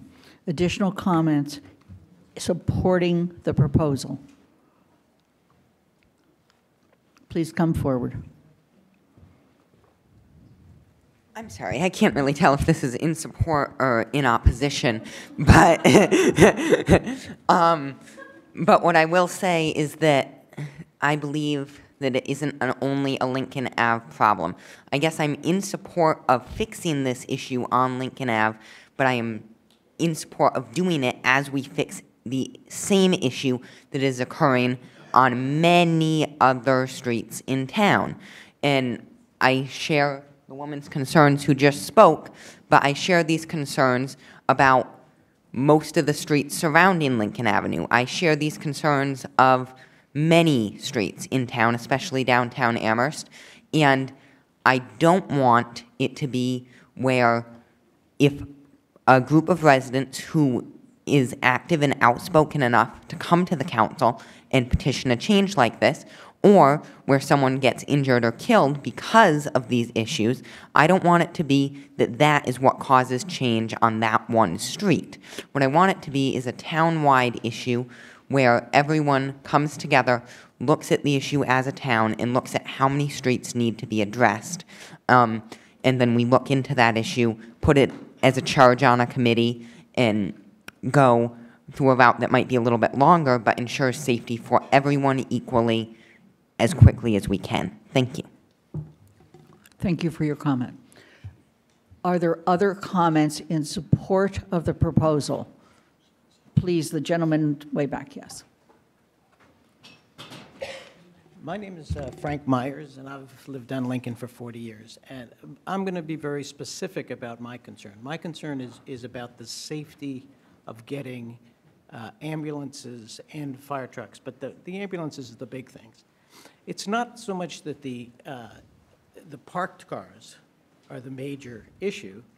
The major issue is the volume and two other cars. So you have basically three cars very close, and most times not. So one car stops, another one goes, stops, goes, and it, it goes on all day long. My biggest concern, uh, having been a retired physician, this neighborhood has become very elderly, okay?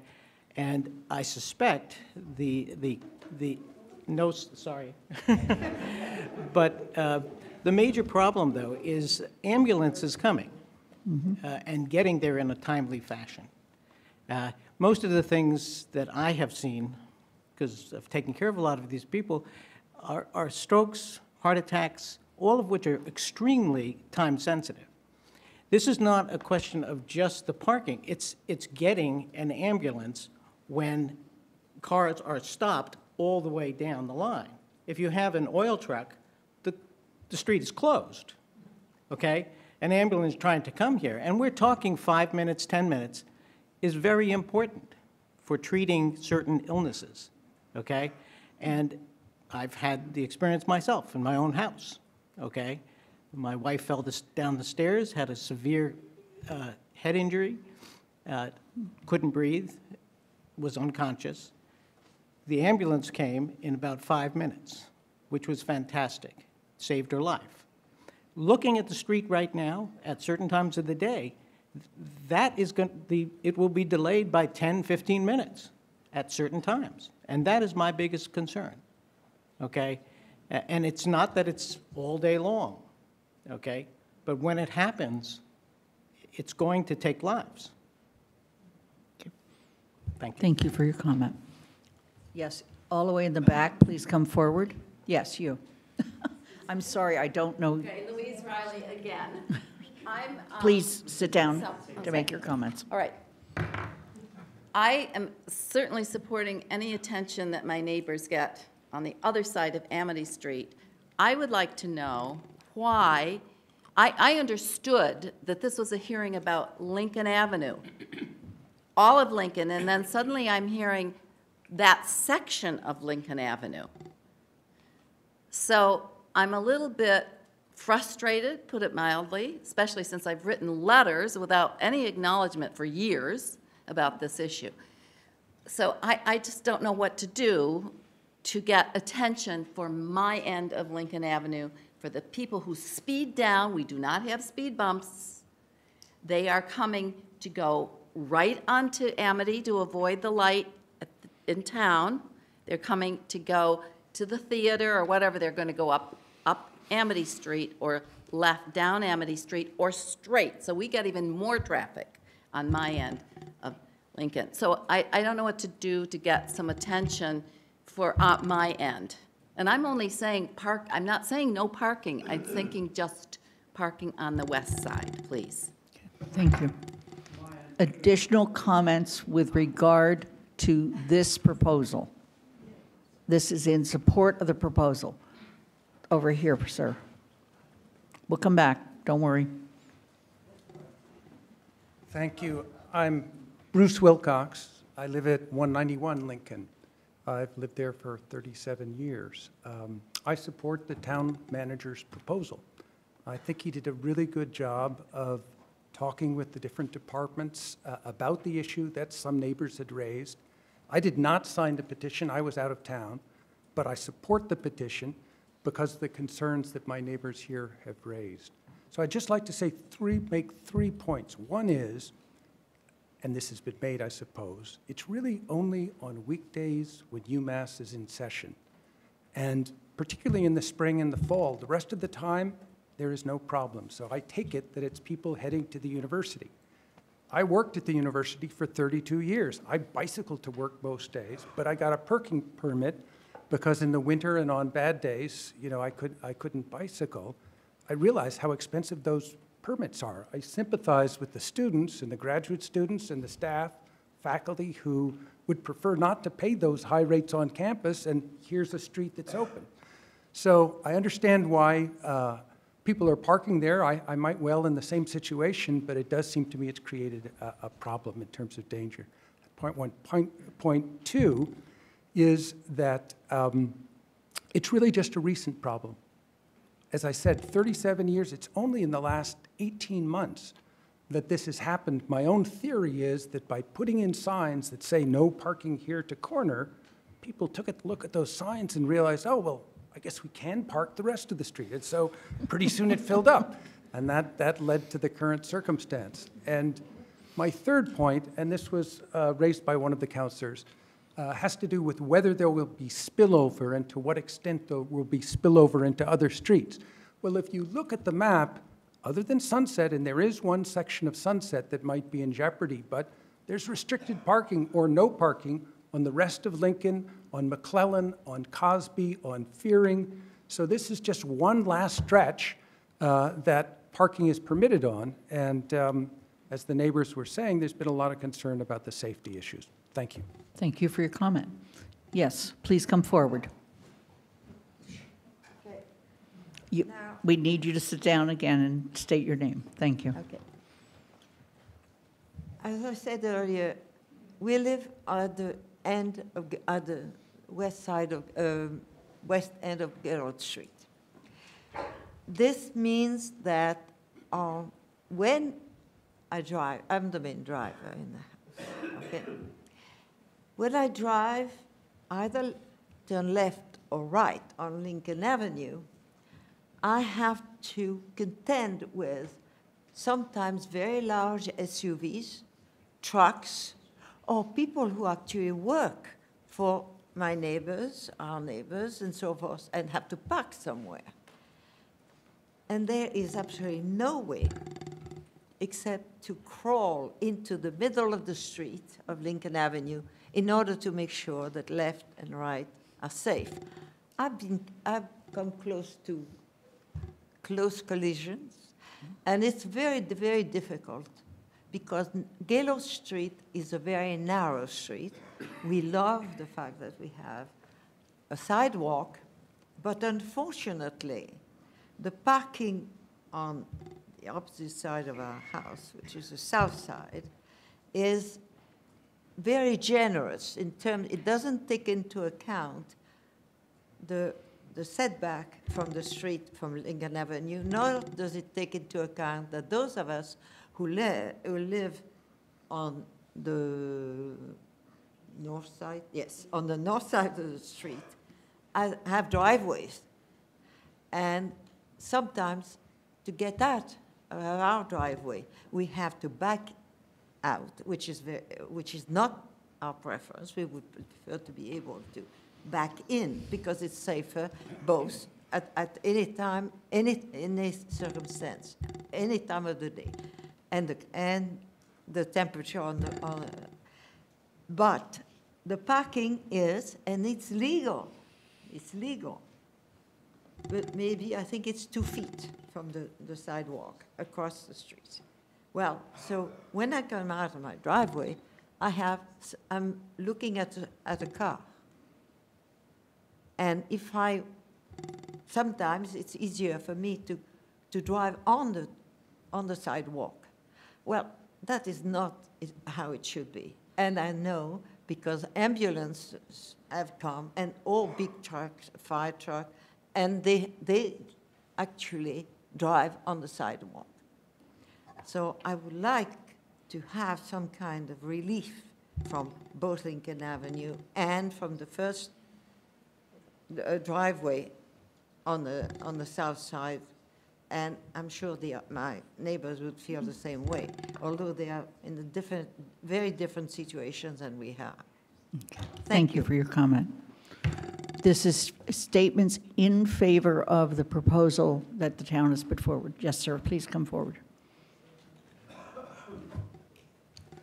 David Ratner, 199 Lincoln. I've lived there for many years.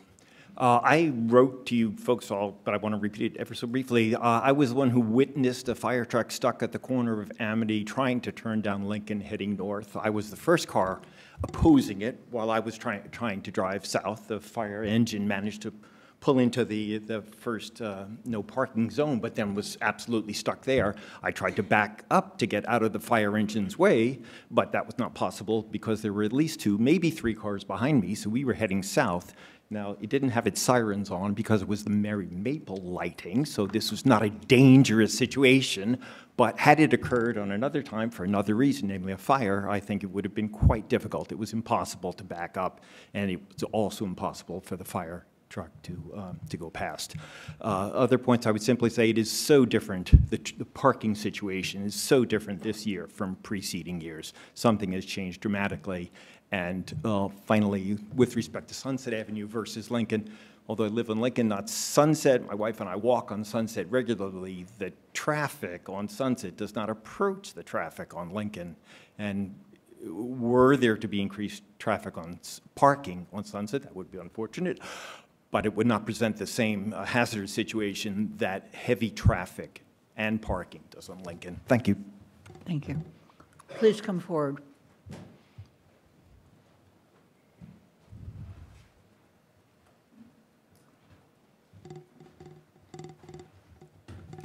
Dale Peterson, 234 Lincoln Avenue. Good evening, councilors. Clearly, this hearing is the beginning of a very large and urgent issue before the town. My wife and I happen to live in the hot center. If there were a West McClellan Street, it would be our driveway. and I want to speak to the clear and present danger that exists from Route 9 all the way down to Fearing uh, on Lincoln Avenue. The problem is that at present, the town is extremely fortunate that there has not been a fatality or certainly physical injury because there are instances where it's necessary for large vehicles to be parked on the west side of Lincoln. Oil trucks have been mentioned, tree work is done, the town itself brings in its equipment. They can't park where the cars are on the other side of the street. And the spectacle, my wife and I watch it every work day. The spectacle is that you have bicyclists going both ways on Lincoln Avenue. You have pretty much a parking lot, certainly from Amity up to uh, McClellan. You have runners, high school runners, college, university runners going by, pedestrians occasionally trying to cross the street, although be wisely advised not to even attempt it. So, my, my plea to you is that there be fairly alertly and promptly a recognition of the clear and present safety dangers, hazards on the stretch of Lincoln. Uh, and actually, I would quite agree with my neighbors that it, the problem exists all the way from Route 9 down to at least McClellan. There's a clear and present danger here, and I would hope that the council can find a way to act, uh, act alertly and promptly uh, and not delay much further. Regard this proposal as the initiation of further action, but not an invitation for you to delay it, please. Thank you. Thank you for the comment. Are there any other comments speaking in favor of the proposal? Please come forward. Uh, Rick Peltier, 160 Lincoln Avenue. Uh, I am halfway to 90 years old. Uh,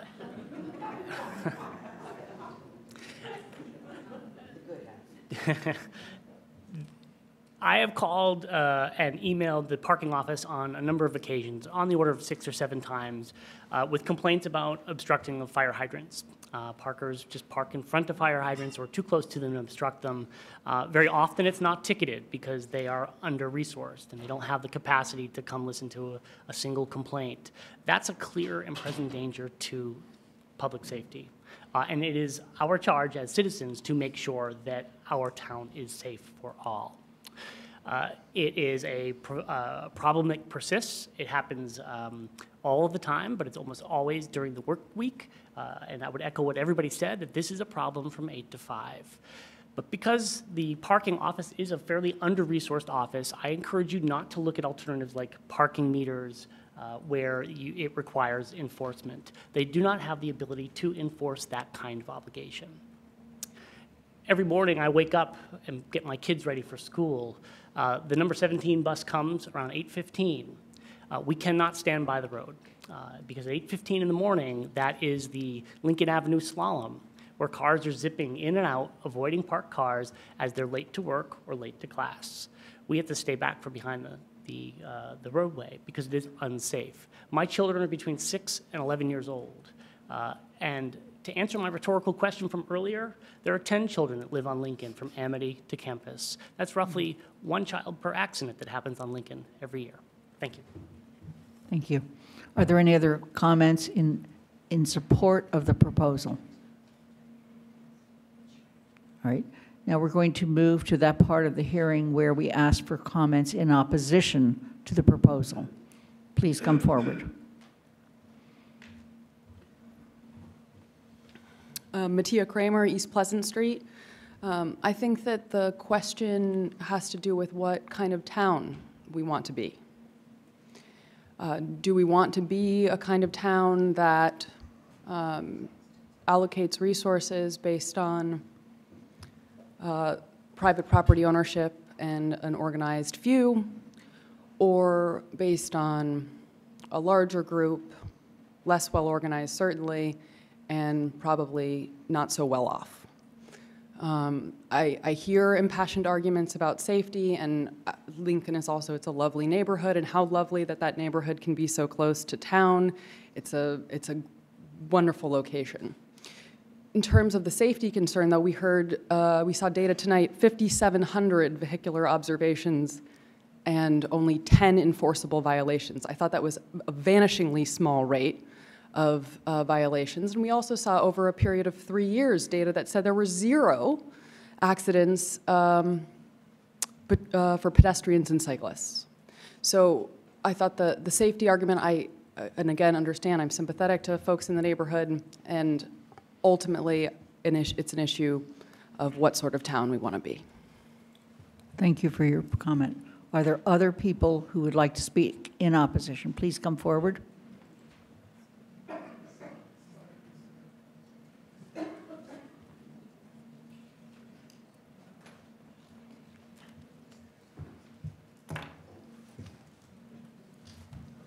Hello again. Jim Barner, 34 uh, Dana Place.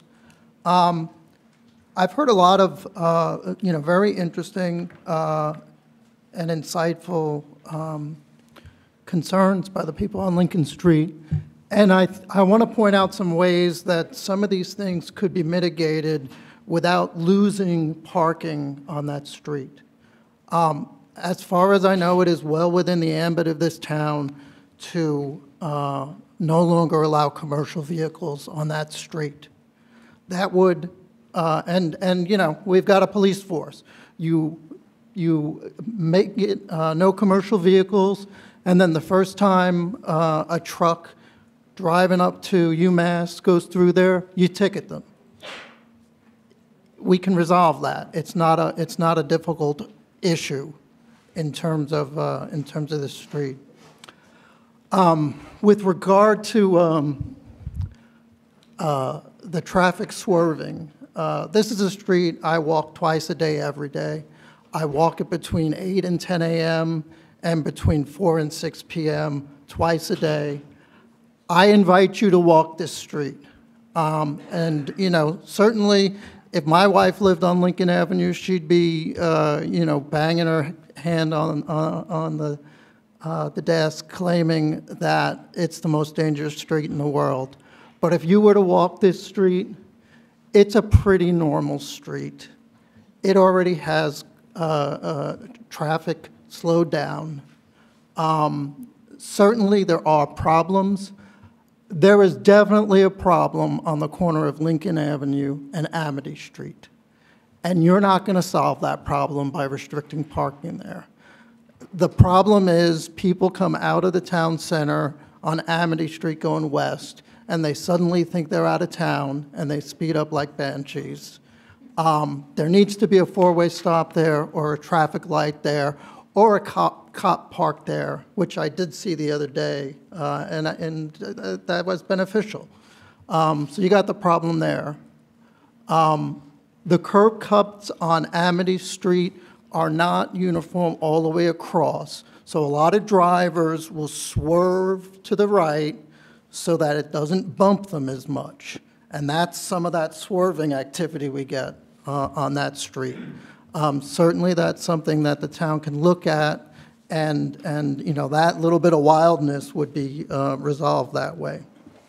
Um, People make rational decisions in their own self-interest about where to park and how to drive. And you're chasing people's rational decision-making process. Now, you can either make policies that take the whole group into account, or you're going to keep chasing them. You put this parking restriction on Lincoln, I'm going to be the first one parking on Sunset. And when you put that restriction on Sunset, I'm going to be the first person, if there's parking on Amity Street, on Lincoln Street south of Amity still, I'll park there. I walk a half mile uh, from uh, Lincoln Street to my office. I only park on Lincoln Street when it rains. Generally, if I'm walking from my house, it's 1.2 miles. Uh, The fact of the matter is, everyone who parks there has a rational reason for parking there, and you have done nothing to find out what those reasons are. This town spends a lot of time abstractly considering uh, rules regarding parking and what people who park need or want. But, but in, you know, unless you're taking money out of their pockets, you don't care about their parking. You're going to remove 100 parking spots from the town. This is 100 all-day parking spots that are free. That's valuable property. And I don't think it's in the best interest of the town to do that. I need you to wrap up. Okay, well, I've said everything I need to say, but thank you very much. Thank you. This is comments in opposition. Please come forward.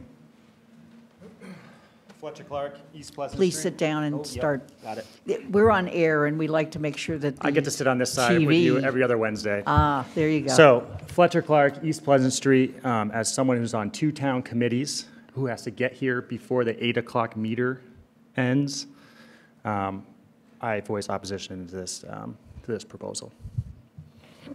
Thank you for your comment. Please come forward. Yes. Hi, I'm Suki Kraus. I live at 163 Lincoln Avenue. Um, Parking is a very, very precious resource, and um, I I don't feel like I have the right, as, just because there's parking in front of my house or there's parking on our street, to make decisions that affect both civic and neighborly, um, have civic and neighborly effects. It's been a busy street, it's been a busy street. We've, my that house has been in our family since 1962.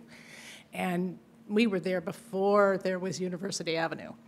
And um, it's, it is, it's a busy street, and I'm not going to say there aren't problems.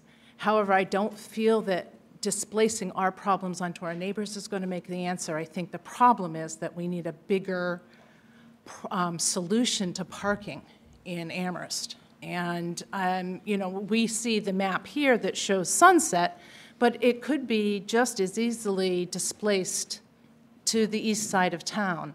Because I think most of the people that are in front of my house are working downtown. They're not, they're not going down to the university. So I, but I don't want to make that guess. I just, I just don't feel that this is the right thing to do for our neighbors. Thank you for your comment.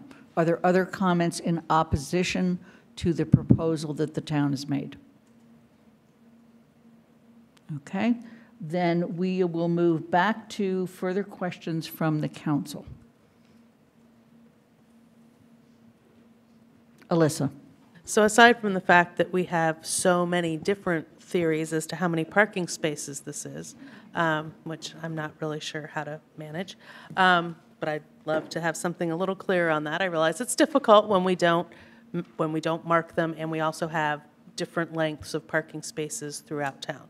So it's all a made-up thing, as we saw from previous parking studies.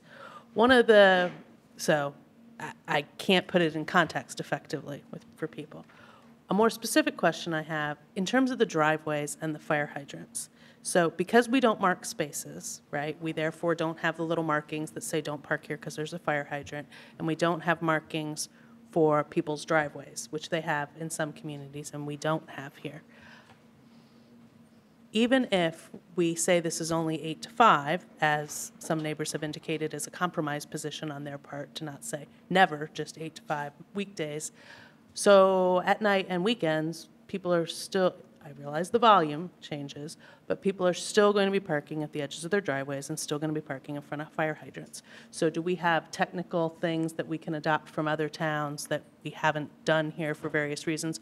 But because this is a high visibility street, we would consider doing, because that feels to me like that's going to remain a problem whether we have parking there, sometimes, and even if we don't have it there from eight to five, it's still going to be a problem. If we get all the economic development downtown that we want, that's going to be a great place to park on Saturdays. And people are saying they don't have a problem with people parking there on Saturdays because, for a lot of reasons that I won't elaborate on. And at that time, people are going to park in front of the fire hydrants, and they're going to park in people's, park at the edges of people's driveway. So I'm not seeing this as a big solution. I understand that it feels like it's something for people, but it feels like we ought to be able to do something with all our amazing engineering skills and enforcement skills to make this easier for people who are parking in this random area to know, how close am I supposed to be to a driveway? How far away am I supposed to be from a fire hydrant? Most people don't remember what was in their driver book when they were 16. Uh, Do, would the two of you like to come forward again in case there's questions? That doesn't mean we don't have fire questions too, okay? Thank you. Leave you some room. Response to the question asked? So I don't know if I actually heard the question from a law enforcement perspective, but um, most of, for enforcement efforts with our parking enforcement people, anything that's not downtown where their uh, districts are broken up, where they're actually uh, very specific, specific times patrolling, most of the other outside of the center of town uh, ticketing is done by complaint. So if somebody calls up and says somebody's parked in front of a fire hydrant on McClellan Street, we'll dispatch either an officer or a parking enforcement person there to handle those. But yes, the hydrant areas are not marked. They're certainly not marked clearly, and um, that poses a problem sometimes. Okay, thank you. Uh, Steve? Yeah, so I, I have a number of comments. So one is there's, some of the letter writers have mentioned this, some of the speakers have mentioned this, but there's a conflict, the, safety conflict, or the safety comments, to my, in my opinion, are in conflict with each other. So on one hand, there's a desire to make Lincoln less desirable. So I heard a lot of comments that there's a huge volume of traffic going down Lincoln. So if I hear that, my instinct is then let's make the make then make it as hard as possible to go down Lincoln. And the answer to that is park on the street. So so the proposal before us. So normally when you see no parking on a street, eight to five or in that window there, the reason is because you want to make that a major commuter artery. So if that's a desire, we should remove the speed bumps and make that a major commuter artery. In other words, so it makes no sense to have a street with speed bumps on it where you're trying to restrict traffic and then take the parking off of that because actually that makes it more desirable for people to use that to get to the university. So I, I'm on Lincoln all the time. I've ridden my bike dozens of miles on it. but I ride my bike on Lincoln because I work at UMass and I have to come to town all the time. And Lincoln is the safe way to ride my bike because my other options, um, North Pleasant, and I don't even remember, are very, you know, much less safe. So Lincoln's actually the safe road for me to ride. And if I feel unsafe riding on the street, which I never do, I can ride on the sidewalk. So you can, in Amherst, you can actually ride your bike on the sidewalk, I believe, outside of the downtown area. That's right. Yeah. So the third thing is the park streets actually make it much safer, uh, I'm sorry, the park cars actually make it much safer for the sidewalk. So the sidewalk is on the east side. There's nothing safer than a bunch of parked cars. I mean, we've heard about embankment runs and things like that, but there's nothing safer than parked cars to protect pest, you know, the pedestrians that we've heard about. And I think it's very telling that there have been zero pedestrian accidents and zero bicycle accidents. So another comment, and somebody mentioned this earlier, is that I actually think that the speed bumps are causing, if there's any problem for bikes, I think it's the speed bumps that are causing those problems, because as we've heard, um, a lot of cars try to veer around at the speed bumps, so they come, it's like a slalom course. So they, so they go very close to the curb, much closer than they should. So, so, so these are the, the concerns I'm, I think that there is a, always has been an issue as long as I've lived here, being the desire line between basically the downtown area and parts of the university. That's always existed. The university is growing, it's becoming more desirable. Um, I, I can see what the problems are with uh, of parking. Oh, one, one other comment is public safety. So if there's an emergency on Lincoln, the, the first responders are going to be going lights on, sirens blasting, I assume, and cars will find a way to get out of the way, even if they have to go. There's many narrower streets with parking on it, even on this map. The Howard Street and um, the Prospect Streets are much narrower than, than uh, the street. So I don't, I think that public safety is overthought. Are there any other questions, or comments from the council? Yes, Evan? Right, so uh, I guess I had two questions. So when we authorized this hearing a while back, one of the things I said that I would be interested in seeing was uh, alternatives that were considered um, to this proposal. The only one that I saw in the report was the potential for parking meters. And so I'm wondering if there were alternative ways to consider um, perhaps solving what many perceive to be as a problem without this. Um, and, and as, as, as open as possible. So, I mean, in theory, you have two parallel streets that lead between Amity and Mass Ave. Could you, like we did on North and South Prospect, make them each one way going opposite directions? That would eliminate two-way traffic and maintain that. Because that was brought up, was North Prospect in the presentation, was that's not wide enough to have two lanes of traffic plus a lane of parked cars, so we make it one way. Well, it seems like we have a similar situation here. So that's question one is, was there alternatives, including the option of making Lincoln and Sunset opposite direction one-way streets?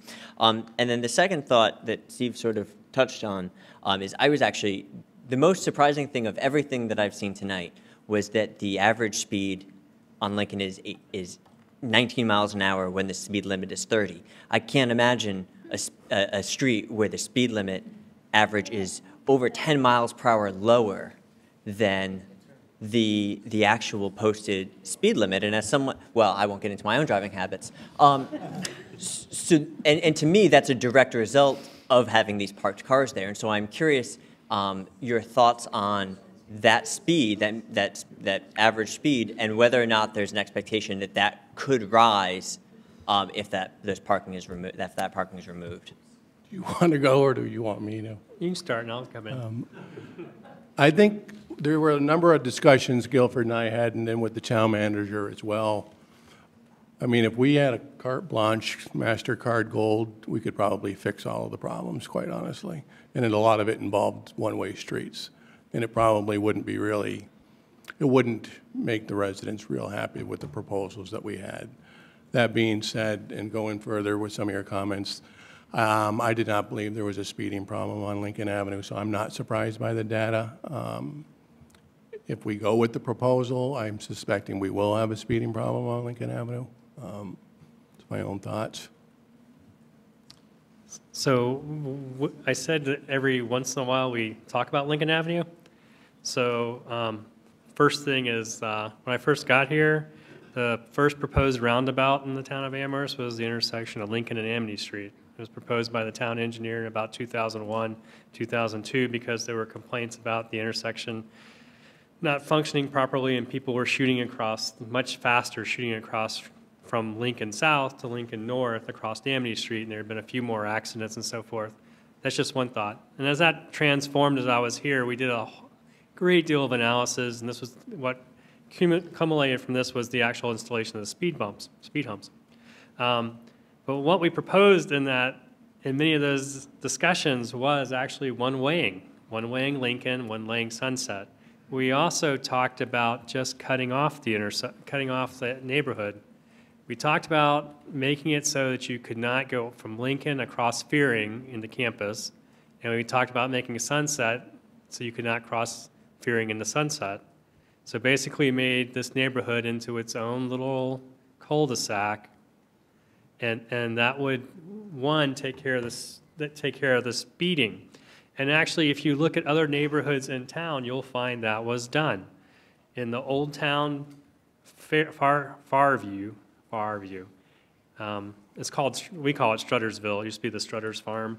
Struttersville area town, this north side of campus, that section of town was cut off from the campus. Those roads actually connected to campus, and then they were cut off. And walking paths exist now, so you can walk between the neighborhoods and campus. Um, so we had taken that same approach for the Lincoln, Lincoln Avenue neighborhood. Um, it was vehemently opposed. No one wanted to do that. No one wanted to cut off the neighborhood. No one wanted to, well, actually, some people did, but the majority of people didn't. Don't cut off the neighborhood. don't make it one way. So we've looked at it multiple times, and we really haven't gone back to it because we don't think there's an appetite in the community to make it one way. Although it would be, um, you would be able to deal with the issues. You could make it one way, you could have parking on one side, and if you wanted to, you could actually even raise up part of the roadway and have a travel lane for bicyclists that's separate from traveling in the roadway. Um, so there's lots of options you could.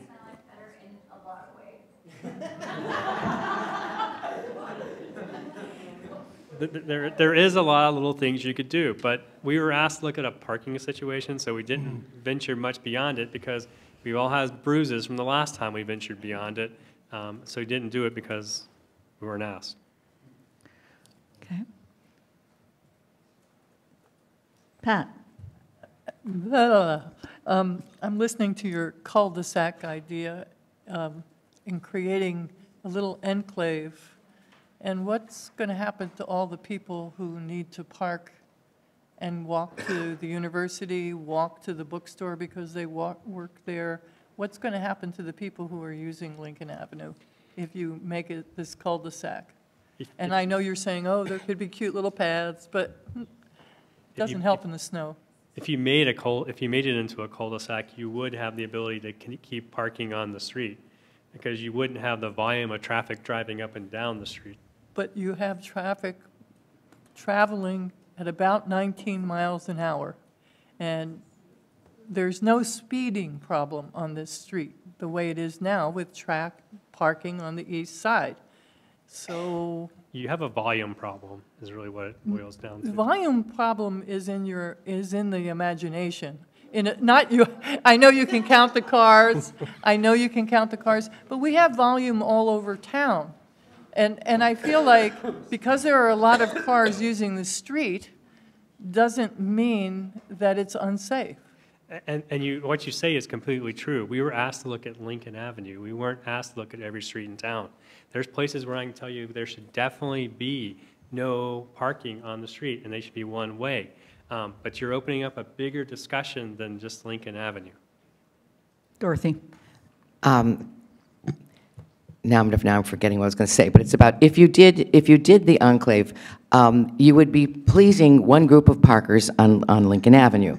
I read every single letter on both sides, and the letter writing campaign that happened very recently of people against the parking change were basically from graduate students who park there and then walk or bike to the university and they expressed that this allowed them, and many of them come from out of town, okay? They come there and they park, and then they're able to have this 20 to 30-minute, whichever way you go, daily experience of fresh air, and the whole thing was part of a more healthy lifestyle, which led me to think, why doesn't the university make some really cheaper parking lots further away from the school for people to park and then walk or ride? Because many of them, and we have pictures that were taken by people on Lincoln Avenue of people parking and then taking their bike out of the trunk and getting on the bike and biking to the campus. So, you know, that is, the people would still be able to park, as you say, there would be a walking path, they would get their exercise, and we would not displace many parkers. And it would not be cut off from the downtown, it would be not cut off from Amherst Cinema for evening parking, and that actually might solve some of the problems. Are there other comments from councilors? Yes, Pat. I guess it just, for some people, boils down to um, only residents should be accommodated, not all the people who come to town to use it for education, for theater, for, for walking in parks. And I find that troubling. Okay. Mandi Jo? So I'm struggling with this because parking is a public resource. And I, in talking to the residents that believe this is a safety hazard, they said it was because of volume and because there was a lot of commercial traffic. Yet your traffic study showed that only 3% of the vehicles that go down that street are commercial. And when I've walked the street, when I've stared at the street, cars can pass, albeit slow and carefully, but fairly easily with a couple of feet distance. So I'm struggling with why it's a safety issue when on the south side of Lincoln, it's not a safety issue. On High Street, it's not a safety issue. On Sunset, it wouldn't be a safety issue. Um, and I'm also struggling with it's downtown. it is UMass, we have a parking problem in this town. At what point do we say it's an urban area and parking on streets in urban areas is normal? Um, so I, I guess one of the questions I have is to th those fellow councilors that were here when we limited parking on, from eight to five between McClellan and Fearing and on Cosby. I assume Cosby is even short, smaller width-wise than Lincoln. Um, why did we do that? And did that really just result in pushing a problem further south?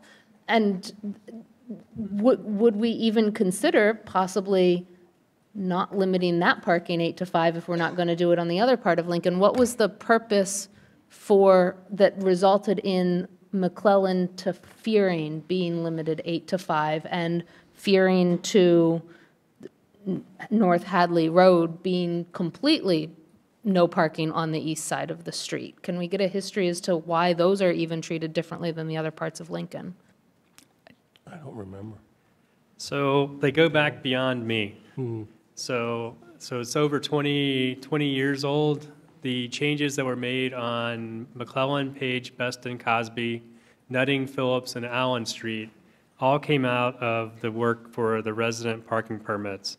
Um, These neighborhoods were parked up pretty substantially, and people were complaining, and they said, we need parking for, you know, parking for the residents. We don't have any.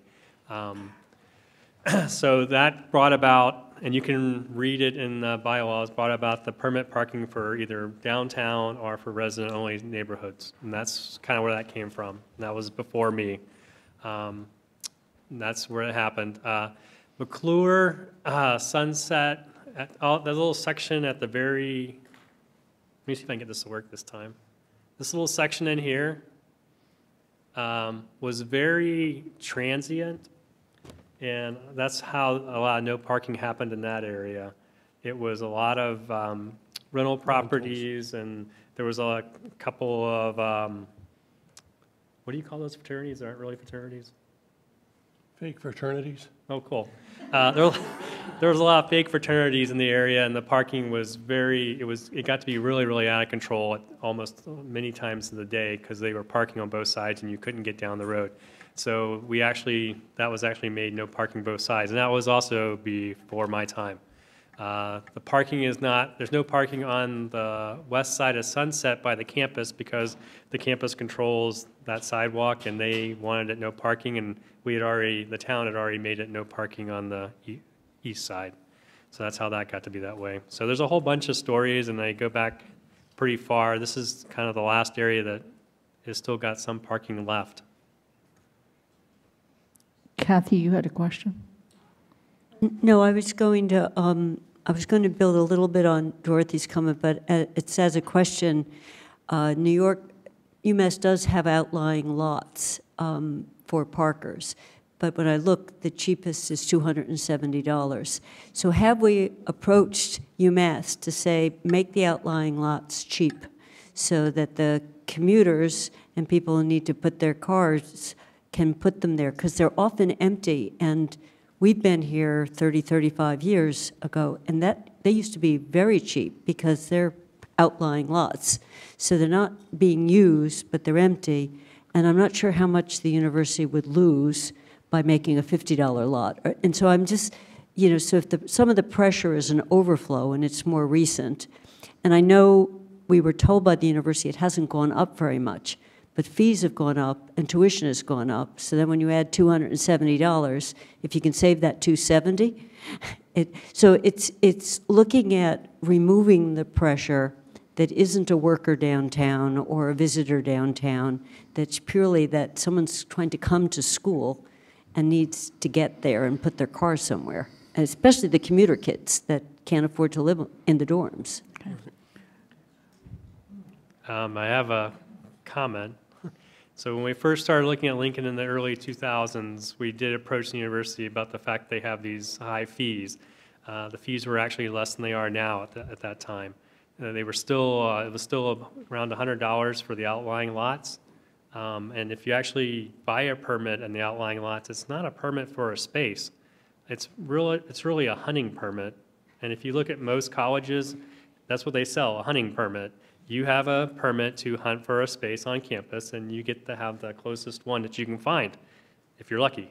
Um, So that's kind of how the permit systems are on most campuses. And they are, the, s- the fees that UMass is charging is about comparable to the other universities of their size. I paid, well, this was even farther back, this was over 30 years ago. The permit fee I paid to go to North Carolina State was a $200 fee, and I walked a mile and a half from the lot to my school, to my building. So it's, the prices are not that out of line. Are there additional comments or questions from the council? Dorothy? Well, I have two problems. Um, One is that the data that you gave us is not up to date, because people are think, saying, oh, it's really not that dangerous. But it was just a few weeks ago that in one day, within a few hours of each other, there were two accidents at the corner of Amity and Lincoln that involved blazing cars, uh, and people were sending me photos, uh, and we went out and took a look. Um, Things, and most of the people from Lincoln who have testified have said, this is something that has really gotten much worse recently. Then we've had general conversation here amongst councilors about the need for a whole parking program or plan, which I agree with. However, no one has mentioned that as part of our, our master plan, we have a downtown zone where people can build big buildings and include no parking for their tenants. The theory being, you don't need a car, you can use the bus, and I think most of us know that it really, you do need cars. So the reason there aren't enough parking places is that there is a policy which is outlined weekly or biweekly at planning board meetings, which said, people don't need cars, people aren't using cars, they're using Uber, they can use the bus. So there is a big need for a big rethinking of parking in town, but I am strongly advocating that we do accept the proposal which has been put together by the people from the town you see sitting here, people who've studied it, who work in it, who know what's going on, and understand that, yes, we have to do what has been mentioned here, a rational townwide parking policy, including increasing, you know, as many people have said, increasing the supply through a parking garage, which is discussed. But please pass this now for Lincoln, and we can see what happens, because in the recent years, last two years or 18 months, it has become very dangerous, and we can then come together and talk and say, did that work? Did the things that were forecast fall apart? Or, you know, shall we redo it? But I don't want the idea that this is going to be folded into this big, huge, town-wide parking plan that we're going to do, which might not be ready for a couple of years, although it- it's really necessary for it to be done. So I really, I urge you to think, these people have put in a lot of time and effort in putting together a plan based on what they know about the town. Let's support it and then work forward for a townwide policy, parking policy. At this point, uh, are there any more questions from the council? Because otherwise, we will move to close the hearing. Okay?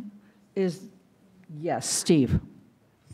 I was wondering if the chief would mind repeating something that I think you said earlier, which is that if we take away the parking on Lincoln as proposed, then it's in your experience that then we'll have a speeding problem. A problem, I'm not sure, of, but I believe the speeds will increase there on a regular basis. I mean, it's just one of the things, and I think one of the councilors brought it up, um, having the two-way traffic with the parking almost mandates that you go slow. Are there other questions from the council at this time? Um, Guilford? Before you leave that, the actual traffic counter that when it was installed for this traffic count, let me see if I can. Oop. So the location of the traffic counter was between McClellan and Cosby. It's in a section of the road that now has no parking eight to five. So there are speed humps, speed bumps along the road, but it's already, that, that section where the counter is, has no parking on that section. Okay. Sarah?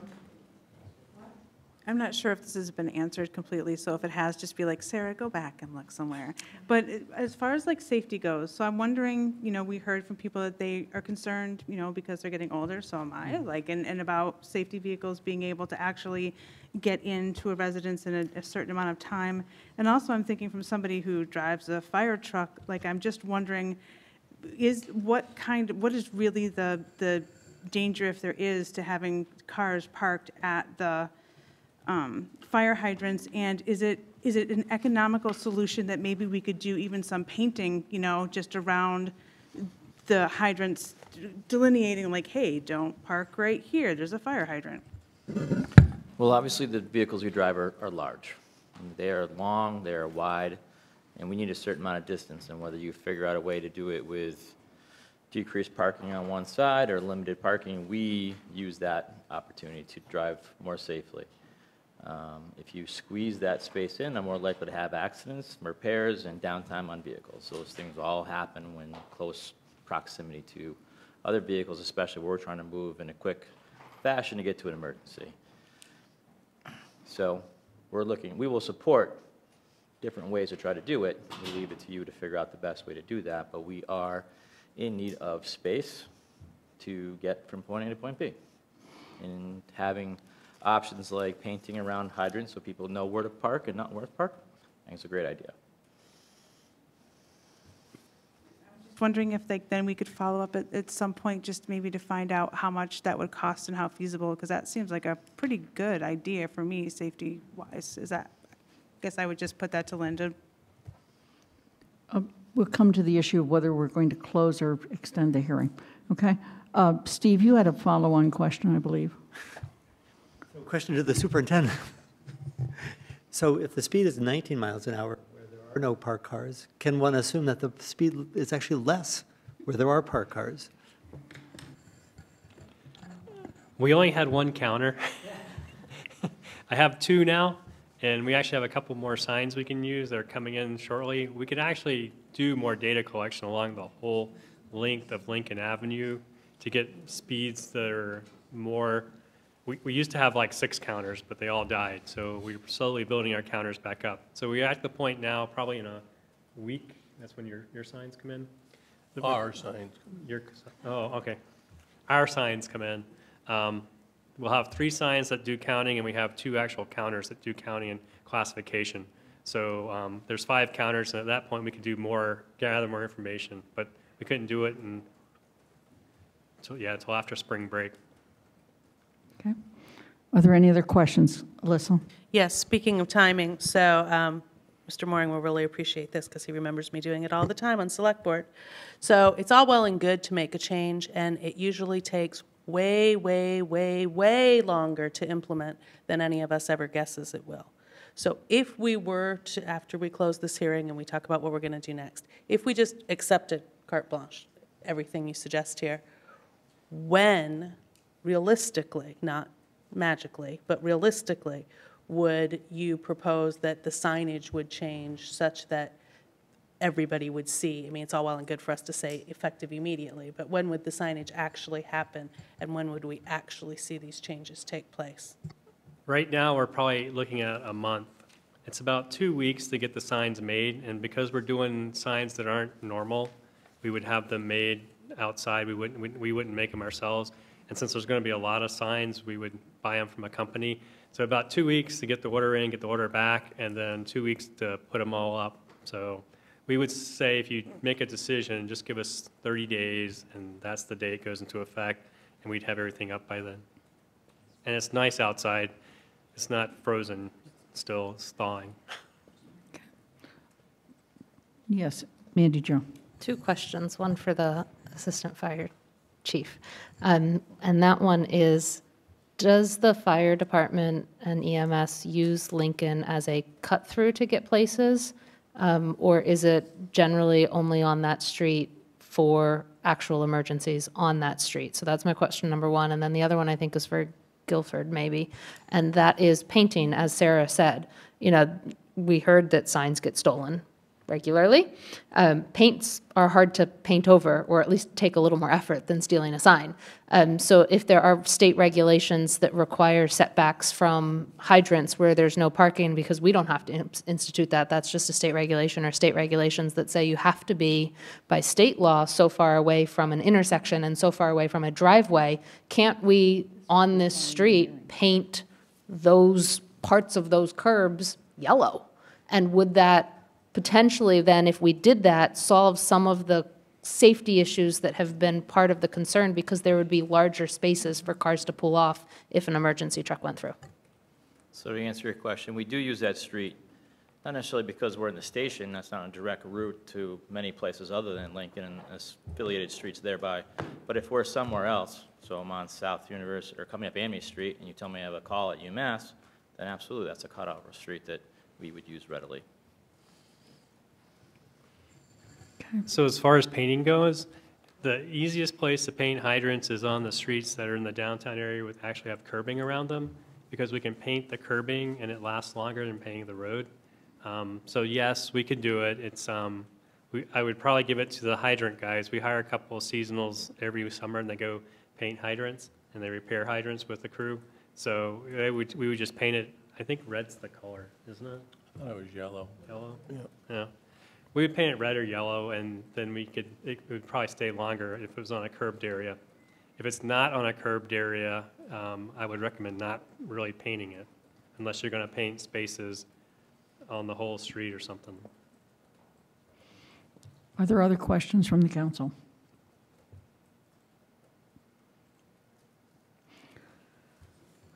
Okay, so I just want to ask people to bear with us. This is the first time we've had a hearing like this. And so what council now needs to do is decide whether they close the hearing or continue the hearing or whatever else they might do. The first action is whether we close or continue. So um, is there a motion? What happens if we do the? That's, that's the question I wanted. What happens if we close the hearing? Okay, if we close the hearing and we want to discuss this again in the future, we have to go back and re-advertise. Okay? If we leave the hear, yes, Alisa? That's not true. So you can, clo- this is not planning board, and this isn't zoning board of appeals, and it's not someplace else that has adjudicatory, that kind of power. This is, we close the hearing, and that means we're done hearing from all these mm-hmm. folks. If we said, we want to continue the hearing because we're waiting for you to put out two traffic counters, and we want to get that data, we could leave it open. But technically, we could, as I understand it, we could close the hearing, and we could still say, hey, you know what, we had another question. Come back and answer another question. This is not like an applicant for a particular permit for a particular project that's going to get built or not get built. So we don't have those kind of constraints. So I would normally argue toward closing the hearing, and then we can still do pretty much whatever we want after that, but the hearing's no longer considered open, and we don't have to re-advertise unless we decide to start talking a lot, uh, unless we decide to start talking about sunset, for example, then we'd need to advertise that. Thank you for that clarification. Um, So we either close the hearing or we don't close the hearing. Is there a motion? Is there a second? Shalini seconded it. Is there any further discussion? Then all those in favor of closing the hearing, please raise your hand and say aye. All those opposed? And abstain? I should have said aye, I'm sorry. I didn't, I was too busy. Okay? So, all those in favor, ayes, how many did you have? I had 11 vote? yes, one no, and one abstention.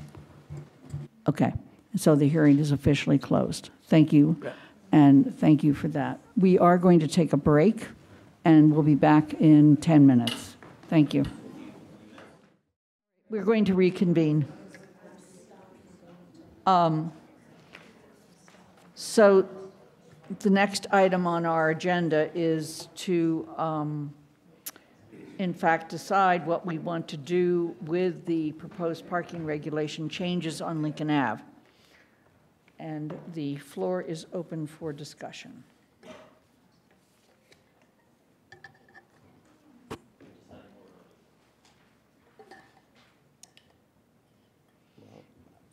Mandi Jo. So this isn't going to be a surprise, but I'm in favor of referring to um, the new Town Services and Outreach Committee um, with a hope that they might consider talking to TAC and the town staff about what we heard tonight and other potential options and everything, and giving us back a report. Are there other comments at this time before we ask for a motion? Yes, Alisa? Given that we have something else on the agenda to refer to ta- TSO tonight, we, we already referred something to TSO last meeting, and like, they haven't even started yet, um, is I want, I actually, I don't have a problem per se with that, but I actually would like us to talk briefly, if we, if anybody else is interested in this, in increasing those distances from the intersections, because that was, and that's partly because that's what we did in 2015. That was one of the things we focused on then. Clearly, it hasn't been enough. And so I'm, that to me is a more immediate issue because there, I mean, you still have to get enforcement out there. But if people understand not parking so close to the intersections, that seemed to be a public safety concern in terms of getting the vehicles in and out, but also people making the corner safely just in a regular vehicle. And so I'd really like to entertain the idea of making those changes, just those, those couple changes to the intersections, and then refer any other changes to another body. Kathy?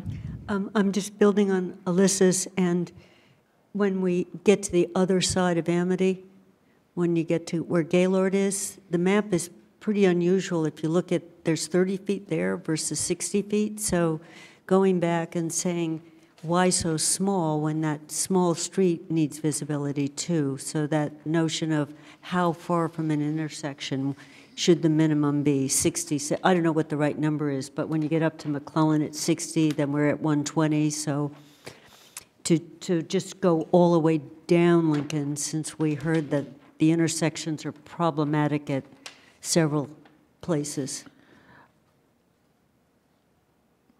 I want to make sure that if there is such a motion, that it's worded with precision, and that may take just a little while to do. Um, So um, if you're planning to make such a motion, please start working on the precise motion. Uh, Ca- uh, Yes, Do I- Dorothy. And I- I'm also told not to s- be so close to my mic, so let me put it away from me. When is the new TSO committee starting? It starts, it's officially appointed as of Mo- next Monday, and uh, based on the memo that I sent to all of you, I will call the first meeting. I am suggesting that that first meeting be the following Monday at 9:30. And what date would that be? That would be the 23rd. Thank you. Okay. So if this were referred to the new TSO, then it would be considered on that date? No? It would be part of that agenda. There are a couple items that would be considered. So then it might be a long delay before the TSO got a chance to look at it. Okay. Pat? Because of that delay, that's why I think what Alisa's saying is important about the intersections and that we can do something about that right now. Okay. Could we put up, Athena, could we put up the recommendations section? I think it's right on page one of the memo. And then basically we could just circle all the ones that are the intersection distances as opposed to the stretches. Andy? Yeah, I think that's a good idea because I actually have it on my screen right now. And I think what uh, would be suggested if we did that would be to enact, um, and it's, this is really a first reading, so it would require a second reading anyway, but, but enact as a first readings, subparts one, two, and three on, under recommendations, and um, they probably would need to be read into the motion to avoid confusion, even though it would be easy because it's cut and paste for the clerk later to do that. And then um, I think we would have to then consider a separate motion on referral to a committee for the remainder of the proposal, um, as uh, Mandi has suggested. Okay. All right, so Mandi Jo? So I'm not sure it would be that easy, but since we couldn't vote on it tonight, I think we could by next time for the intersection issue, get better because those subparts don't include the 60 feet on either side of, on McClellan because the proposal is the full length of that side.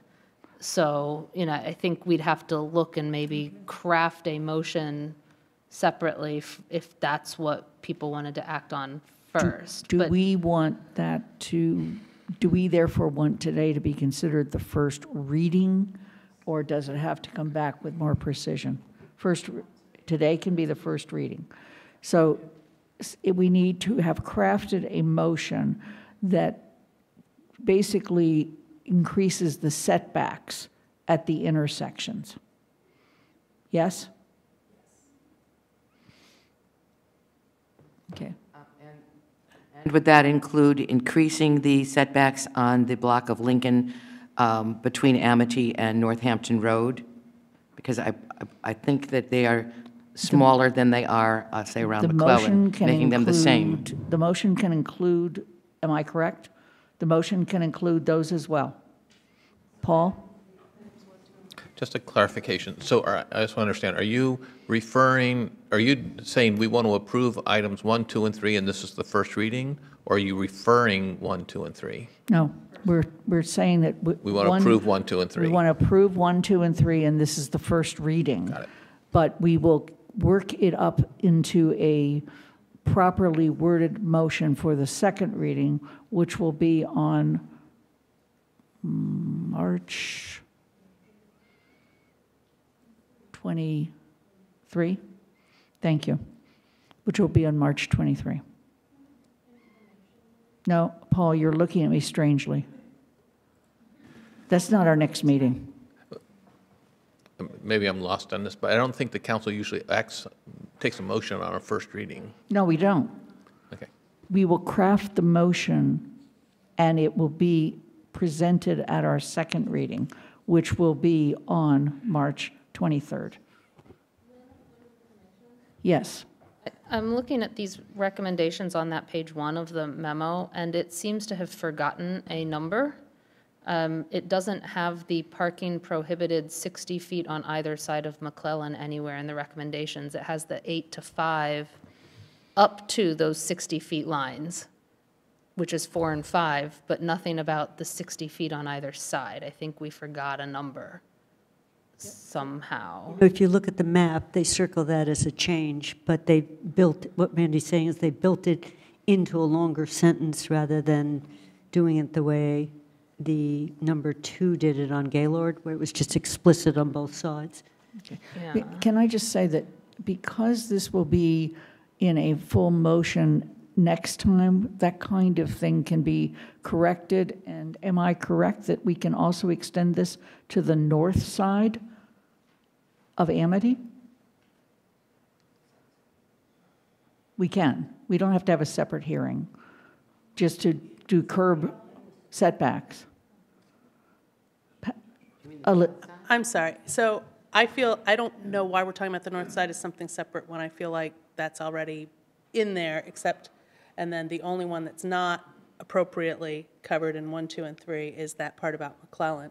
And- But the problem is if, I understand that we don't like craft a motion for a first reading, but on the other hand, we can't say this whole proposal is under first reading, because this whole proposal is not under first reading, because we are not Right. considering this whole first proposal. So we have to say something's the Right. subject of the first We- reading. So We I would say basically it's have those to three tear the things. recommendations apart. Right. It's those three things were part of the first reading, and then the wording that Mandi Jo wants for, to be, you know, to be determined associated with McClellan. And when that is put together with, then staff can review again on that, on the Gaylord, just to make sure that they didn't intend for it to be larger. I mean, I believe they intended it to be this, but they can double check it um, to see if that's right. All right, so let me make sure I understand this, since somebody's got to work with Mr. Bockelman and uh, Athena, and that will be staff. We're basically now want to move on the s- setbacks, increasing the setbacks, because we all agree that at a minimum, we're going to do that, okay? And that we will have a motion that is explicit and demonstrated on a map for our next meeting, which will be officially the second reading of this portion. Yes? Just want to clarify that we're talking about, um, got the numbers, the, what is in this paper, but with a change, that the tow zone on the east and west side of Lincoln Avenue for a distance, instead of it being, it- here it says 30 feet north and south of Gaylord Street, but it says 60 feet north and south of McClellan Street. And I believe there was a, a- a statement by some people here that it should be the same number around Gaylord as around McClellan. You, you didn't say that? What I said was staff can check. Yes, we- We, yeah. Well, we, this is something where we will go back with staff, we will check on the appropriate amounts of setbacks, et cetera, and come back to you with the map and the actual, um, actual motion. Mandi Jo. Are we, uh, this is a question for another part of this recommendation, because what we pull out is not going to be part of the referral then. That's correct. And correct. so I'm, I, I wonder if the council might be ready to move on, I think it's number seven, um, which is prohibiting parking 24/7 on the west side of Lincoln Avenue from essentially Amity to North Hadley. Is that part of, of question for this council as to whether we want to do that or not? Or is that something we might be able to move on without further study by a committee? Let me just refresh my memory. Which is, represents no change at all from what we've been told for now. A comment here, there's going to be construction by UMass right in that area when they tear down the Lincoln apartments.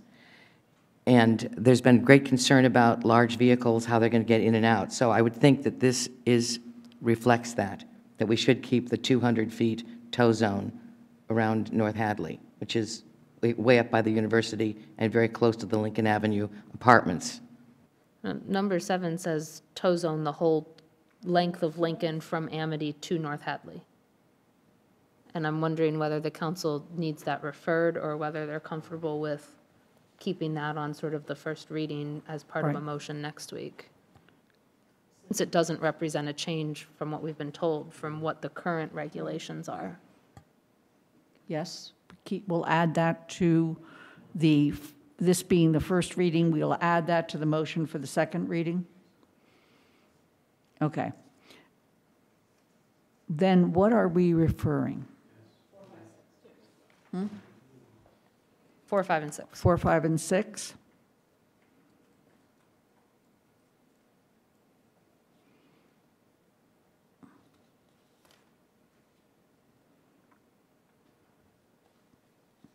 Okay, so I don't need a motion for the first. I need a motion to suspend Rule 8.4 for 4, 5, and 6. Oh, it doesn't? Okay, thank you. All right. So we need a motion to refer 4, 5, and 6 to TSO.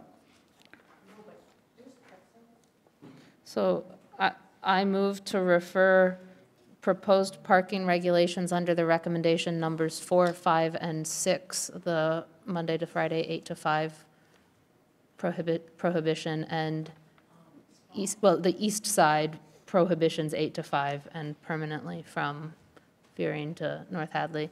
Um, to refer to the Town Services and Outreach Committee with a report back to the council within 90 days.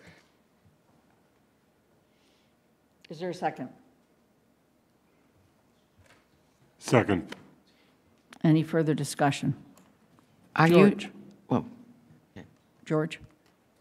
I just would like some help from my colleagues as to what TSO, which has not yet met yet, is supposed to do, or what you imagine them doing.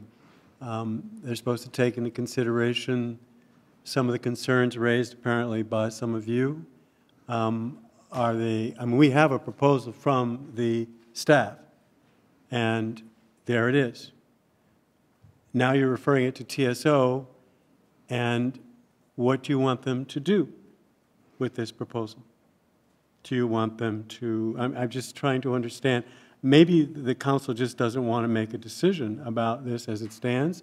Are you looking for some compromise? Um, You're going to leave it up to TSO? It would help if you could give TSO some sense of what you expect them to do, other than just have it land in their laps. Okay, so let me try to, I, I think that's an absolutely and appropriate question. Do we want TSO to only look at four, five, and six? That's one option.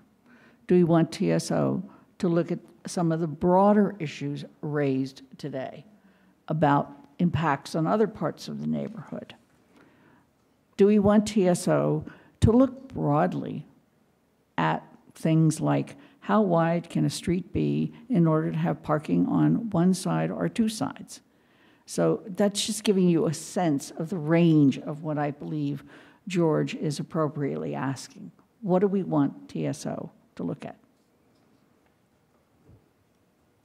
Evan? So one of the things that I, I, I'm thinking, so I'm thinking of this in two ways to respond to George's question. One is, this to me is very similar to the recommendations we received from the Downtown Parking Working Group, where we received recommendations and then we sent them to CRC and said, all right, now we've gotten a proposal, what does the council think? Vet these a little bit more. But I think to me, um, there were a lot of a lot of questions that were asked of of um, uh, superintendent and the chief, and where we got the response of we were looked at.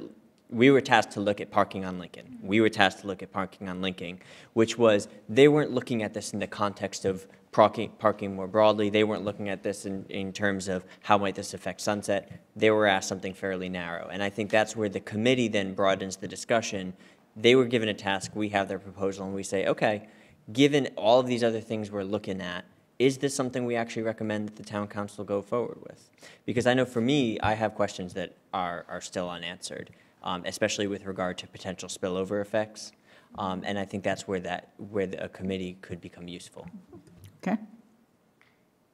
Steve? Yeah, so I'm ready and willing and able to vote on the parts that we said that we're ready to, willing and able to vote on.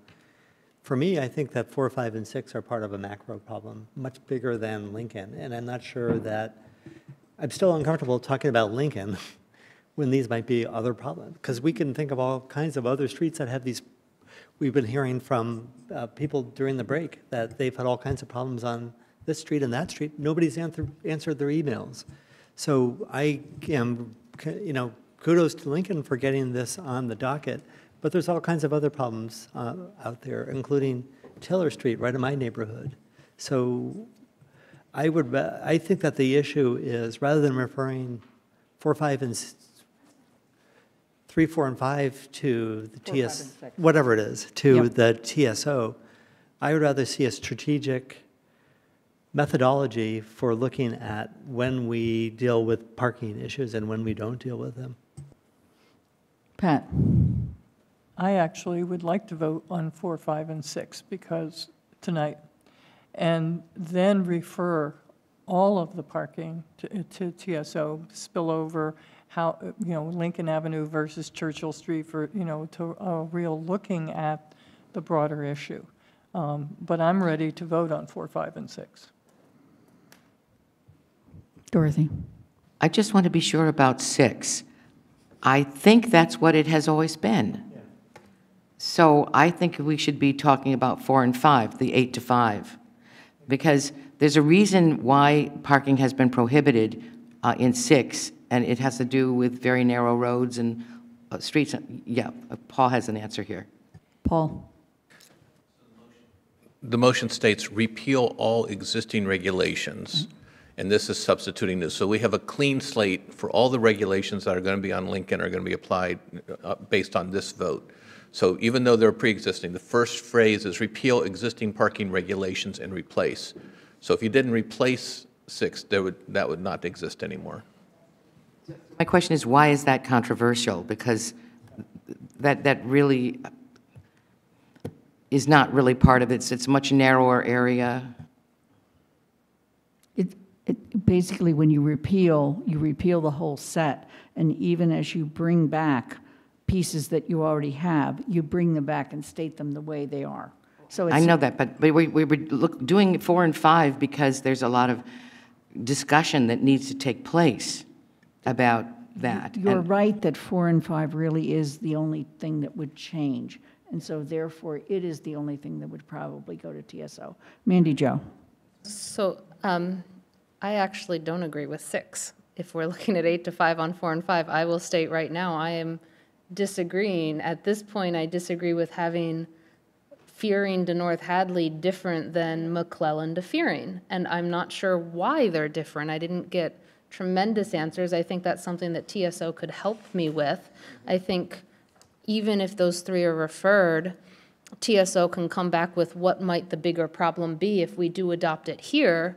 What are all the other streets that are the same width that have parking on both sides that then residents might say, well, you did it to Lincoln, here's where we might be facing it, so that I know what the scope of this potential change, the, the, the outcomes of this potential change are to the rest of the town when other, everyone else finds out, oh, we just limited it here, we'll do it for mine because mine's the same with street, or where that overflow might be. So I agree with Evan that it needs there, but I, I can say, at this point, I'm not sure I could vote for number six because I'm not clear why on a road that is the same width, we're treating one small portion of it completely different than others. That was answered by, it was a very transient area, crazy parking, uh, student uh, apartments with many, many cars, and that the police found it a very difficult area. So that's why, they, they did answer that amongst many thousands of other things today. May I also say that as long as it's referred, it stays the way it is until such time as it comes back and there is a recommended change.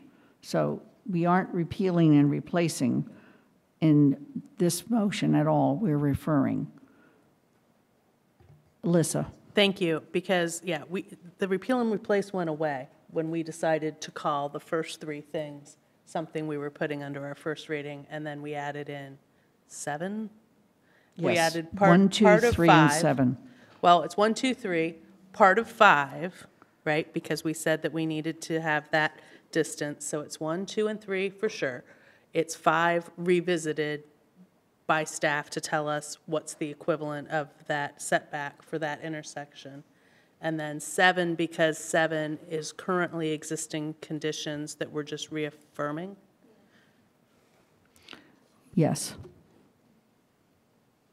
S- Sarah? So I think one of the other things that I would wonder if TSO could do for us is that there was a lot of like suggestions about maybe safety things that could be done. And I wouldn't want those also to be ignored. So maybe that would be also something like, could we paint those areas by driveways or by fire hydrants? Like, I think that, that when we talked about all these different things, I think that there was other facets of how to help that street out. And so I would like to be able to kind of have a little bit of a more of a comprehensive plan, whether we take all of it or not, but I think TSO could help in sort of examining some of the other things that were said. So can I suggest that we might make the motion for TSO to come back with a plan for how they want to proceed versus sitting here and trying to craft exactly what we want them to do? Unless it is that we want them to come back with a rec- recommendation regarding the rest of, of Lincoln Ave, basically the remainder parts of four, five, and six. And then separately, we want them to do, come back with a plan. Something that allows them to be responsive to this proposal, but also uh, recognize that there's lots of other issues. Shalini? Yeah, in addition to the safety issues, um, regarding, with respect to intersection, I just want to highlight the backing is the other area. So if that's another thing for the TSO to look at with the safety issues. And also the question about how are we treating this uh, public parking as a resource uh, for the community and the people that it's affecting. So to address that as well. We keep this up and we're going to have to rename TSO.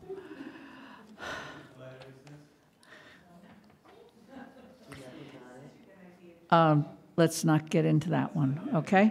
Thank you. Um, So, is there a motion with regard to referral to TSO? Which is four, five, and six. And it was seconded. Yes. Is there any further discussion? Alisa? Sorry, was it 90 days? Okay, 90 days. And that's, remember, our, our thing of report, that doesn't, that report can be, we're still working on it. Right. All right. Are we ready to vote? Yes? All those in favor of the referral to TSO with a report back in 90 days for items four, five, and six of the recommendations? Raise your hand and say aye. Aye. Opposed?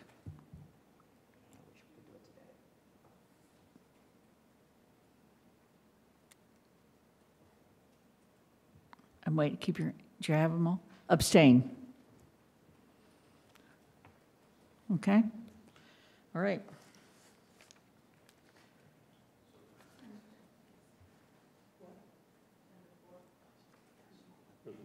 I'm sorry, what was the final vote? It was 10-3? I thought it was 9-4. Okay, please raise your hand again. All those in favor? In favor, in favor.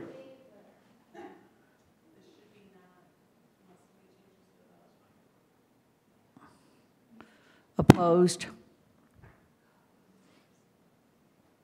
Got it. Abstain? None. So it's nine to four. Thank you. Um, Okay. So, so Lynn, just on the, the setbacks, the amount of space on intersection, we're keeping that, and we're going to come back to it next time we meet? Next time. Okay. It'll be a second reading next time. Okay, and can we have that request be the second reading if people really meant 30 on Gaylord and 60 on McClellan? So just get that clarified? Yes, we'll go back and clarify with them. Okay. Okay. There, there- it's also possible that they, based on the hearing, they may decide that it's appropriate to change it, too. That's, um, that's what I, that's what I would hope. Okay. Dorothy? Can we call them tow-away zones rather than setbacks? Because setback is a term we use meaning something else with buildings. Okay. Yeah. All right. All right, we're moving on to the Finance Committee charge. Andy? Oh, actually, GOL, let's start with you. You're doing Finance Committee charge.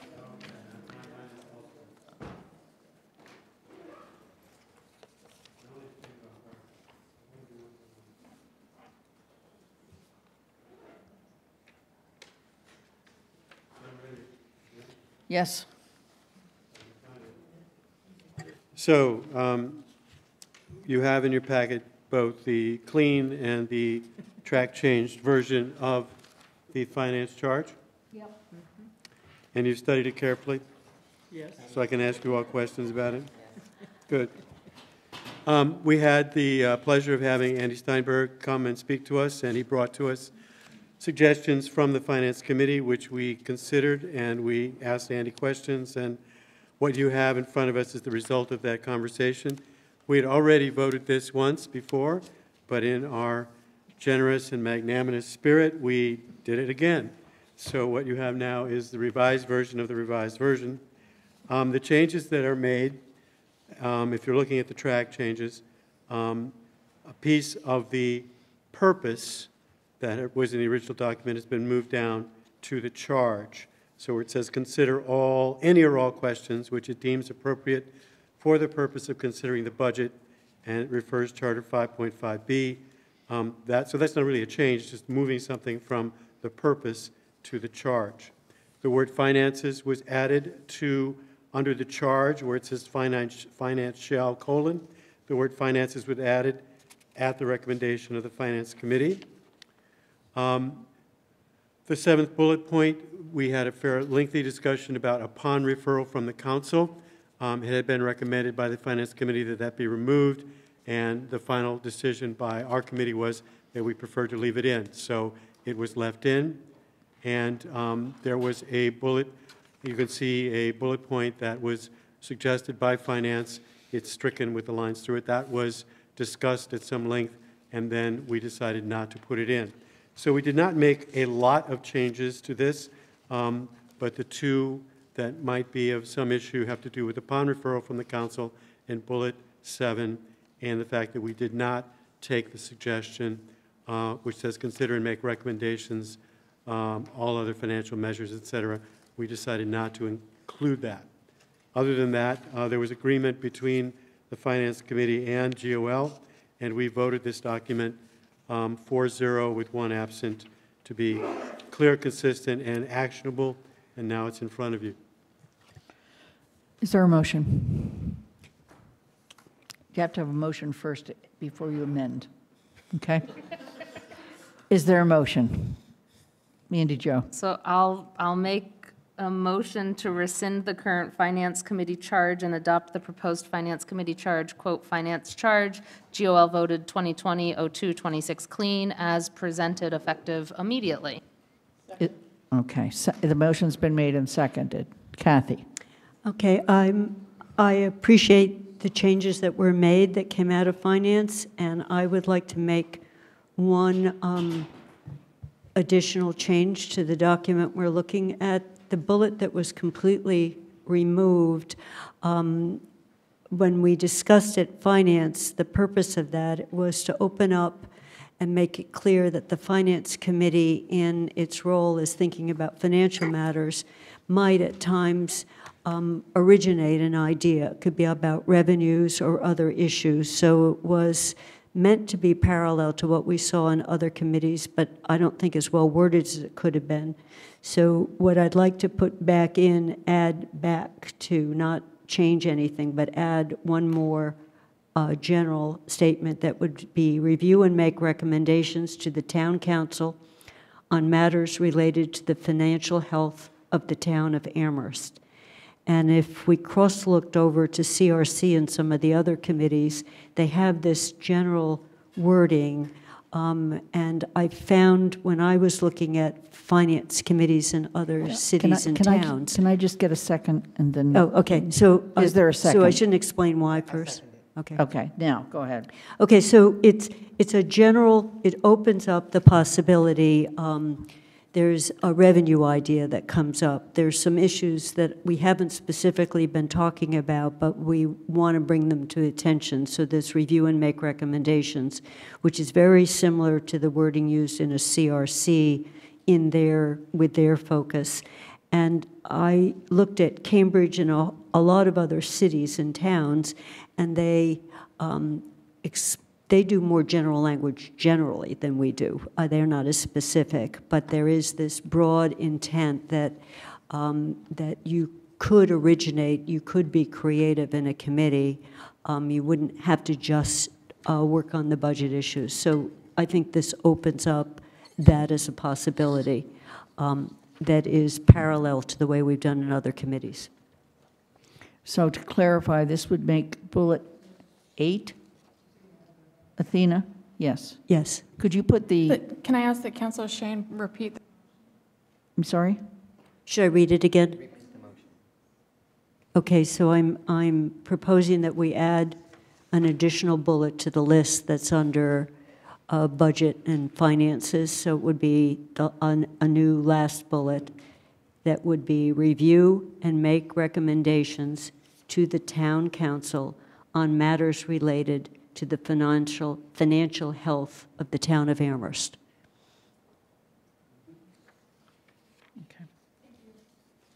That motion's been made and seconded.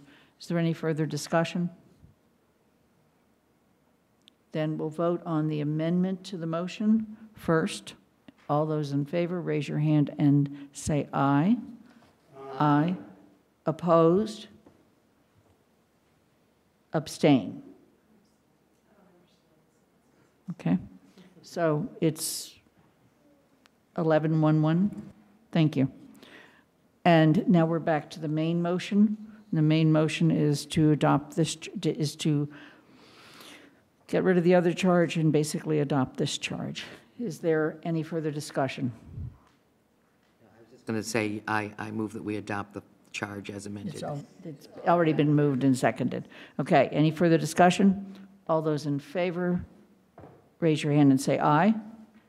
Aye. Opposed? Abstain? Yes? No, and that vote was? Unanimous, okay, great. Thank you. Moving on.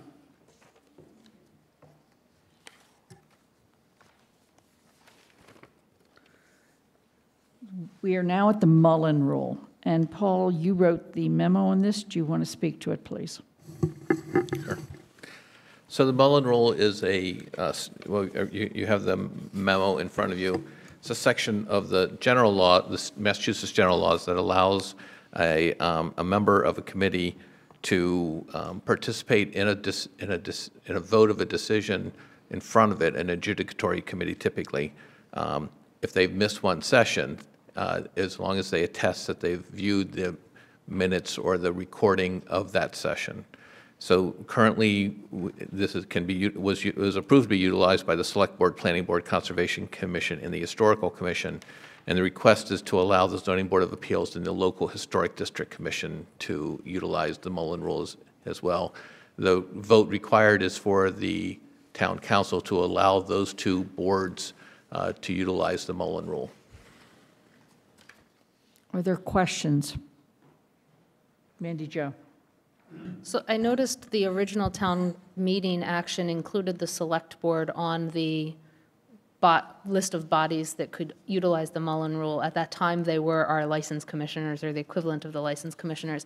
I'm wondering, wondering if there's any need potentially for the town council to be included on this motion. We do sometimes have hearings on water and sewer rates. I don't know whether that was the reason the select board was included in it, but is there something that we should be, is there a reason we could potentially be looking at including the town council on this?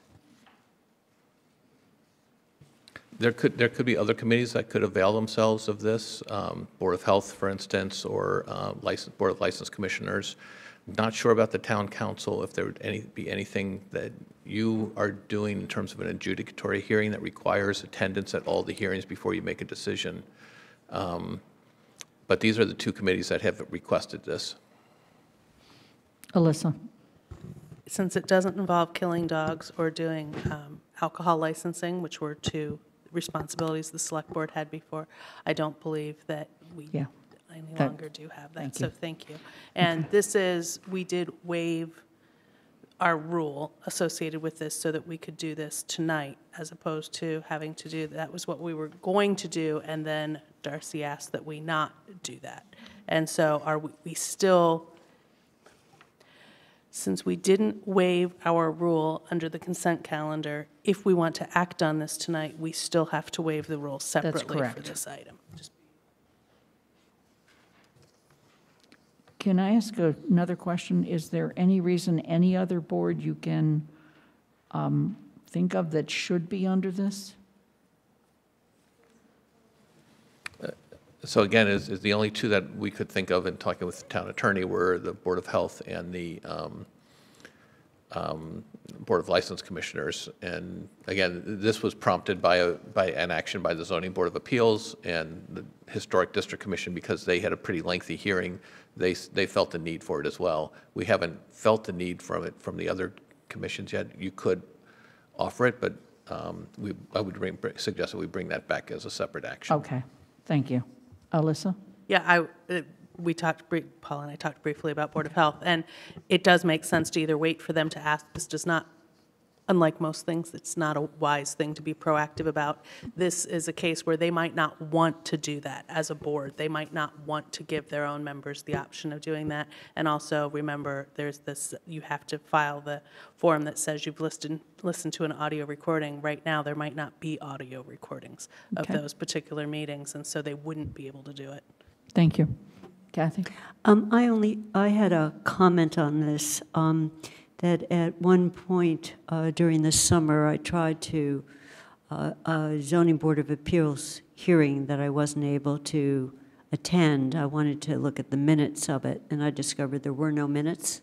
They don't do minutes, um, so I couldn't find what's going on. And they don't do a video, so you- I couldn't watch what had happened. And there is an audio tape that I then just, uh, staff sent me one. They aren't great. Um, it was okay, and I finally figured out a way of making it work. But I think it's important in waiving this that there's a very good audible tape that if the idea is you, you missed the hearing but want to know what's going on, that you can hear. Because I, I had to do a lot of jerry rigging with my laptop to get the sound loud enough to actually hear the discussion back and forth, because it's more like an aft, you know, it wasn't a, it wasn't these kind of recordings. So I, I think the, the sentiment here, you know, I know with planning board, you can actually watch the video, or you could watch ours. So I just want to make sure we have the capacity to produce um, a good audio tape. You know, I'm not doubting, I just, the, my one experience with it is I had to struggle to, to find it. Okay. Any other questions at this time? All right, then let's go to, um, we first need a motion to suspend the council rules. Do I hear a motion? So moved. Okay. Is there a second? Okay, so the motion is to suspend council rules procedure, Rule 8.4 for the current agenda item. It's been made and seconded. All those in favor, raise your hand and say aye. Aye. Opposed? Abstain? And the vote was? I'm sorry? Okay, unanimous. All right, now, then we're going to move on to the actual motion. And that motion is to accept for the following boards, committees, and commit, or commissions holding adjudicatory hearing in the town, the provisions of Mass General Law, Chapter 39, Paragraph 23D, which provide that a bo- member of a board, committee, or commission holding an adjudicator- adjudicatory hearing shall not be disqualified from voting in the matter solely due to the member's absence from one session of such hearing, provided that certain conditions as established by said statute are met. Zoning Board of Appeals, Local Historic District Commission. Is there a second? Is there any further discussion? Darcy, I just want to make sure you were the one that asked that we pull this off the consent agenda. Is there any further question on your part? Okay, thank you. Then, all those in favor, please raise your hand and say aye. Aye. Opposed? And abstained? Abstain. So 12 to 1, 0. Sarah, did you oppose? Oh, I'm sorry. I- Okay. No, we're fine. We're fine. Her hand was up too long. Thank you. Okay, we're moving on to um, the bylaw amendment on non-criminal disposition, uh, 2.2. This is the first reading, and George, I believe we come back to GOL. Yes, um, we uh, voted this clear, consistent, and actionable on the February 26th meeting. Uh, The vote was four to zero with one member absent. And um, I think our comments are in the report, which I can read to you, but you can read it better than I can. Um, Mandi also could speak to this perhaps more uh, strongly, but uh, we found it clear, consistent, and actionable. Okay? Is there any further question on this? Okay, this is our first reading. It will come back on the March 23rd agenda. No questions? All right, then moving on to the Town Council Rules of Procedure, Rules 8.2, 8.6, and 10.3. Again, first discussion, first reading. Uh, This is, uh, again, GOL. It- This is really just a housekeeping measure, and so I'm kind of wondering why we have to go through the two readings. Uh, Basically, what we're asking you to do here is, um, we're just replacing um, OCA with uh, TSO, I believe. I have the document in here somewhere, but essentially, it's just housekeeping as a result of the changes we made at the last meeting in terms of permanent standing councils of the committee, of the council. So given those changes, certain changes had to be made in wording to 8.2, 8.6, and 10.3. And if you look in your packet, you'll see it's strictly housekeeping. Um, Just changing out, swapping out names. Great. Is there any question on this? Pat? I just wonder why something like that couldn't have been on the consent agenda, since it was just a wording It's a change. change to our rules of procedure, which requires two readings. So we'll just quickly go through, read it once, come back to, on March 23rd. Maybe it'll be on the consent agenda next week? Yeah, there you go. I'll, I'll make a note of that. And maybe we can put the chapter, the uh, non-criminal disposition on consent, too. Okay? All right. Uh, We're going on to appointments, and you've received three memos from me. The first is the actual presidential appointments to uh, the committees, um, the standing committees of the council, and as soon as I find my memo. um, This appears in your document, it was also sent to you, so that um, I do reappoint outreach communications and appointments. They will continue until June 30th. They only have one charge, and that is basically to do the appointments for uh, the um, ZBA and Planning Board, um, which essentially continues them almost as an ad hoc committee um, with that one single focus. Um, The Finance Committee was previously named. The uh, new appointments are um, for Governance, Organization, and Legislation, Town Services and Outreach Committee, and Resource, Community Resources Committee. And in every instance, I state the time in the agenda. Uh, I had to change my time for one of them, uh, for two of them. And let me just say that I will be at the first meeting of each of those three uh, as we elect the chair, and I will organize the first meeting for TSO by consulting with the members on that committee, and would like to know for the members on that committee whether Monday, um, it's, so it would be the week after the town council meeting. So the first time it would meet would be next Monday, the 16th. You cannot meet? Okay. Okay. Then the following time that we could meet, or maybe I'll, at this point, I'll just poll the committee, find out when you can meet, and we'll try to meet as soon as possible. Okay? Because OCA is not actually meeting, uh, its ch- schedule slightly changed. Um, Three, it meets 3:30 and 4:13 currently, is my understanding. So the- if you want to work around those dates, for instance, uh, TSO could meet on the 23rd, So OCA is meeting, on 3:30. O- O- OCA actually eh, tried to intentionally get its meetings off of the town council mornings. Okay. um, When possible, and so our schedule actually, i- it's a little bit incorrect there. and so when are you meeting? You're meeting on, Uh, March 30th, uh, and then April again on 13th. April 13th. and what time? 9:30 to 11:30. So same day, same time, but just the different dates. I got it. Yeah. So in theory. TSO could meet on the 23rd. All right, I will poll TSO and move forward. Um, I also want to just point out on the memo, there were two places where I did not properly recognize somebody who had served in a previous committee, and that is the diagonal line through, and that would be Evan Ross, previously served and continues to serve on Outreach, Communications, and Appointments, and he did serve on GOL. So, the next memo is your choice. All I did was the polling. We already have JCPC, and it's been up and running, and Kathy Schoen is now the chair of that.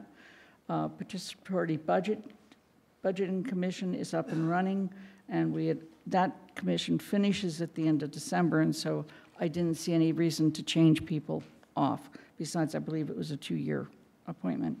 So Budget Coordinating Group, three councilors expressed interest. The way the present charge reads, it's two from Finance. The councilors that expressed interest in this are Councilor Brewer, Griesemer, and Schoen. Is there a motion? Yes, Mandi Jo. I move to approve the following town council appointments to the Budget Coordinating Group under Rules of Procedure 10.6. Councilors appointed to committees named in the charter, effective immediately um, for a term to expire January 6th, I don't know, one year from, Like January 6th. January 6th, 2021. Um, Lynn Griesemer and Kathy Schoen. Is there a second? George, a second. Is any further discussion? All those in favor, raise your hand and say aye. Aye. Opposed? Abstain? You abstained?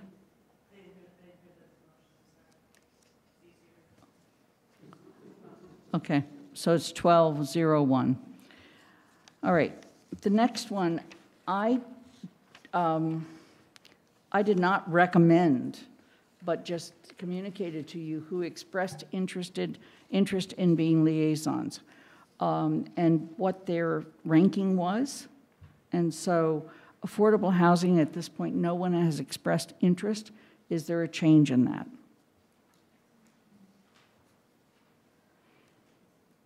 Okay, then we will not have a liaison to that. It- And Board of Health, the three people that expressed interest were Brewer, Ryan, and Pam. And uh, so at some point, we need to select one of them. All those in favor say aye. All right, okay. I will step back. I, I will volunteer to be uh, a liaison with affordable housing. Okay.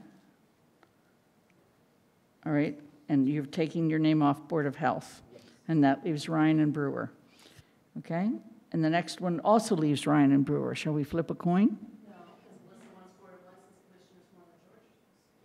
I will yield to my colleague. All right. So- But I actually have a more serious question, but perhaps this isn't the time.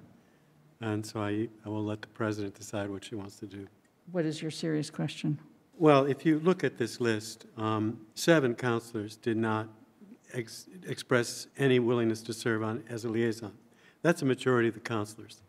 An eighth councilor only put down one, and, and a ninth councilor put down two. So it seems to me that the majority of councilors really are not uh, committed to this idea. So perhaps, in spite of all the work that Lynn has done and OCA has done and other people have done, it seems that the council has voted with its feet. And so I'm wondering if at this point, we just need to throw in the towel and say, until, maybe there's something for the retreat to discuss, but just based on sheer numbers, um, um, half of us are going to do this and half of us, or more than half of us are not. And I think if we're not all in, I'm not sure why we're doing it. That's my problem. Sarah?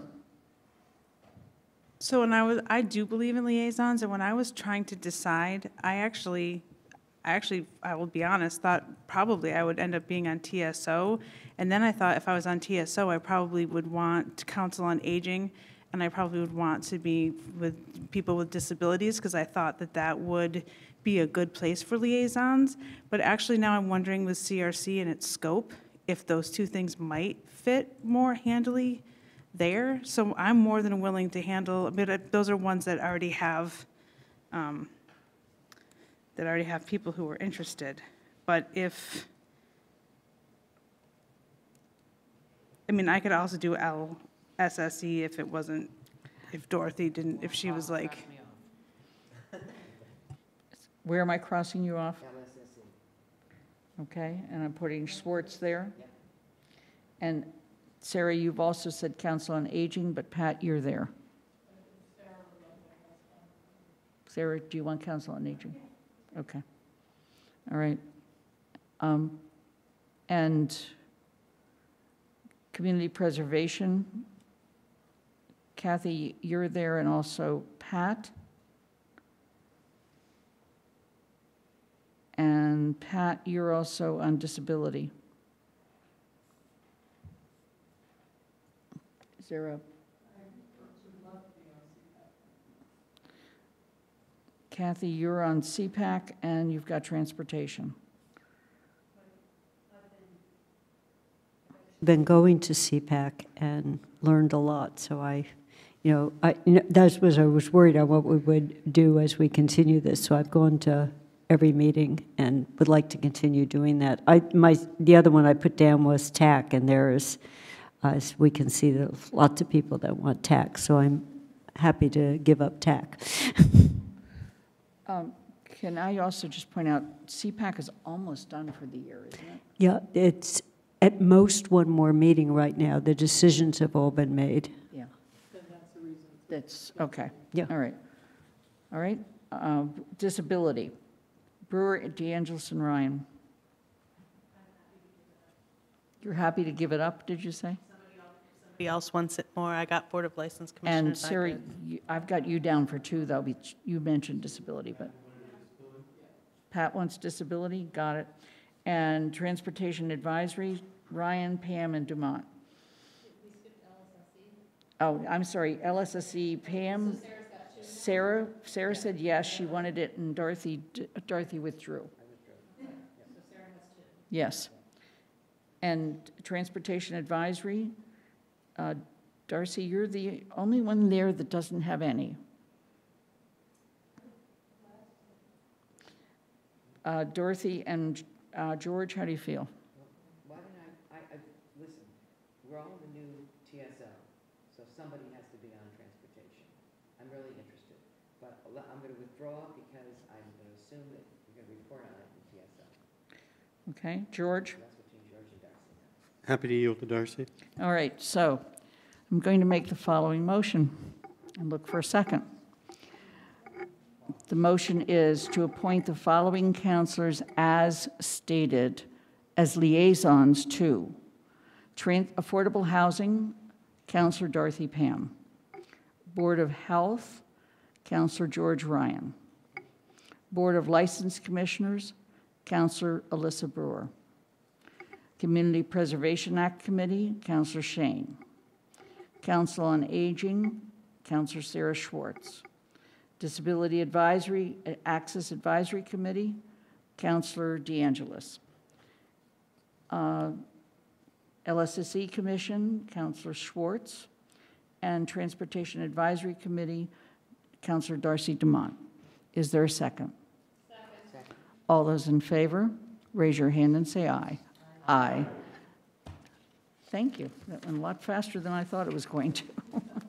All right. Uh, We are moving on to um,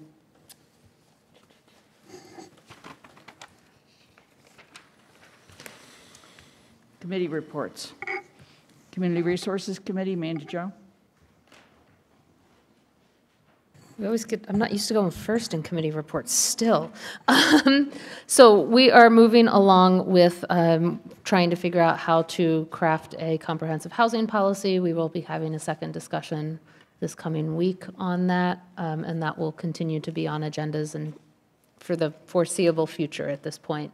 Um, We have a draft process for getting zoning bylaw changes and proposals through the, all the required steps in state law, in the charter, in all of that, um, that has been to the planning board for brief discussion, has been to CRC once, and is coming back this week to that. Hopefully, we can have that to the council soon. Um, And we will also be working on the master plan update.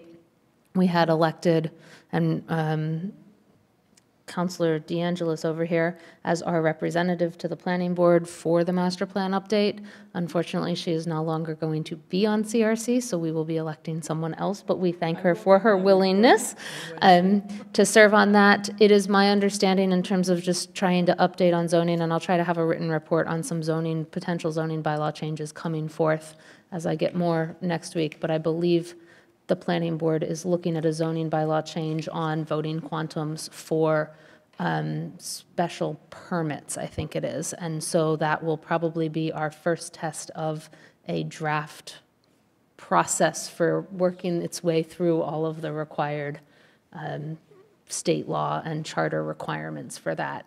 Um, It's been billed as a um, update because the planning board changed in size from nine to seven, and there was a bylaw that did not change its voting quantum for that in accordance with that reduction, and therefore we're trying, the planning board is trying to update that to sort of match that charter change in size. So that should be coming soon. I haven't seen any actual language yet, but I know it's in process. Okay. Yes, Dorothy. So you- I- uh, you've almost answered my question, which is, the new CRC is going to meet in two days, is that correct? No. No, so, so the old CRC will meet one more time this Wednesday because the new committees, I, I thank Lynn for this, the new committees do not take effect until next Monday so that the current CRC, as, uh, the, the one that has been meeting, can meet one final time to clean up some stuff and send stuff over to the new TSO that um, it needs to do and, and do all of that. So, so we look forward to having you, Dorothy, and Andy, um, and Pat join us on Wednesday morning. If we don't, we won't have a quorum. Okay. And new members of CRC, are, of course, are welcome to attend. Yes, Um, a- absolutely. Okay. Wednesday morning at 8:30. Uh, Finance Committee, Andy? So, uh, Finance Committee, you have received in writing with a number of attachments, so I'm just going to kind of repeat what they are, what we covered, and then um, really just treat it as a matter if there are questions, but trying not to go through the material that has been previously presented.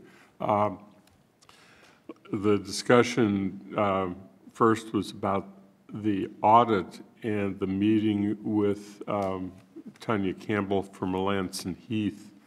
Um, And uh, there was a, several pieces that you've received at various times, including the entire and rather lengthy audit report itself, and uh, the uh, the, the PowerPoint that she presented as a part of her presentation.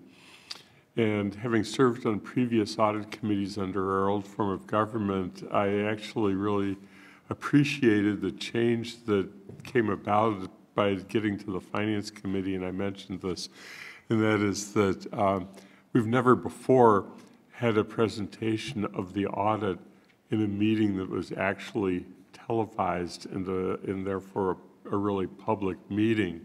And um, the PowerPoint um, was uh, done at my suggestion in order to both help the committee and help the public, and I hope help the council. Um, But if there are any questions about it uh, beyond what um, I wrote in the report or about what I wrote in the report, um, I'll treat that as uh, the um, appropriately. The other audit issue is- has already been taken care of, um, which was the motion to um, retain Melanson Heath for one more year, and um, to, implicit in that is beginning a process that was started by the previous audit committee to um, have a um, selection process for an um, an audit, audits for a future term. Um, The, the last item that was discussed was something that um, used to go to um, town meetings and select boards, and that's the second quarter financial report. Uh, We received the report. Um, I asked that it be appended to, included in this packet. um, just because I, I I felt that it was important to have it there, though I do note that uh, the town manager also appended it by reference in um, his report. So I think that is what we did at the last meeting, and um, we are not meeting again un- until two weeks from now. Um, So if there are any questions, um, otherwise, my report is done. Okay. Any questions? Okay, GOL, George?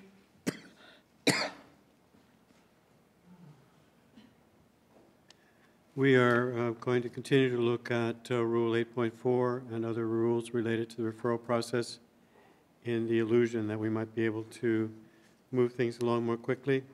Um, We're going to look at consent agendas and see if they need to be put into our rules of procedure. Um, And of course, we're still mulling how to proceed with bylaw changes and revisions as referred to you a number of meetings ago, referred to, to us by you. And of course, we still continue to look at the public ways process and um, hope to make some progresses there at- as well. Okay. Lynn, I, I just have a request on the bylaws that were referred. Um, The one that I had questioned when we were reviewing them was we removed entirely a bylaw on, on co-op and condo conversion. And so one of the things we said would be a fuller discussion of if we wanted one of those at all, what should it be? Um, So if you could notify me when you might get to that, because I collected other towns and what they've done, you know, just um, so I could just come. Can I ask that there also be a general, there, there's a general request that people whose issues, like for instance, percent for art, is coming up for GOL, and I uh, did want to make sure that Bill Kazin knew that it was coming up, and so I let him know. But would chairs of committees in the future let people who were either part of that or interested in it know that it's coming up on the agenda, if at all possible? Darcy?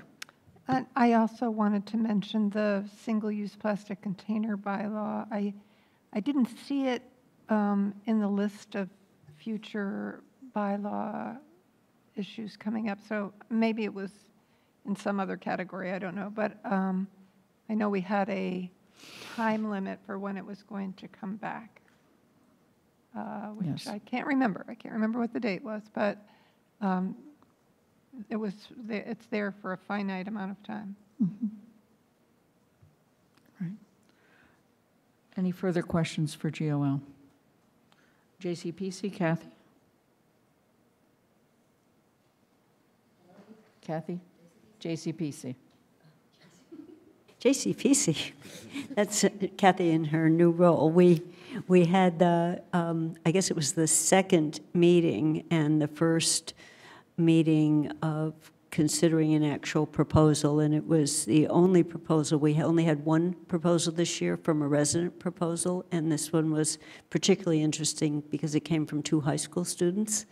Um, We're uh, uh, talking about potential solar panels over the parking lots or on the roof, but what was being proposed is a study on where and how you might do them, what the options might be. Um, So we, we had a dis, uh, discussion about that, and then a preview, and I, um, in my new role as chair, should have put in some notes into to tonight's, but um, the new procedure that we're going to be going through for those who want to come to meetings is the entire town side, which is police, fire, and all the departments, will all be in one meeting this year, rather than come in separately. And the town manager is doing a lot of meeting in advance in the attempt to come in with a more consolidated proposal. So next week, um, well, actually this week now, we're meeting with library and schools. And so the- agenda is put up, you can see what the issues are coming up each of them.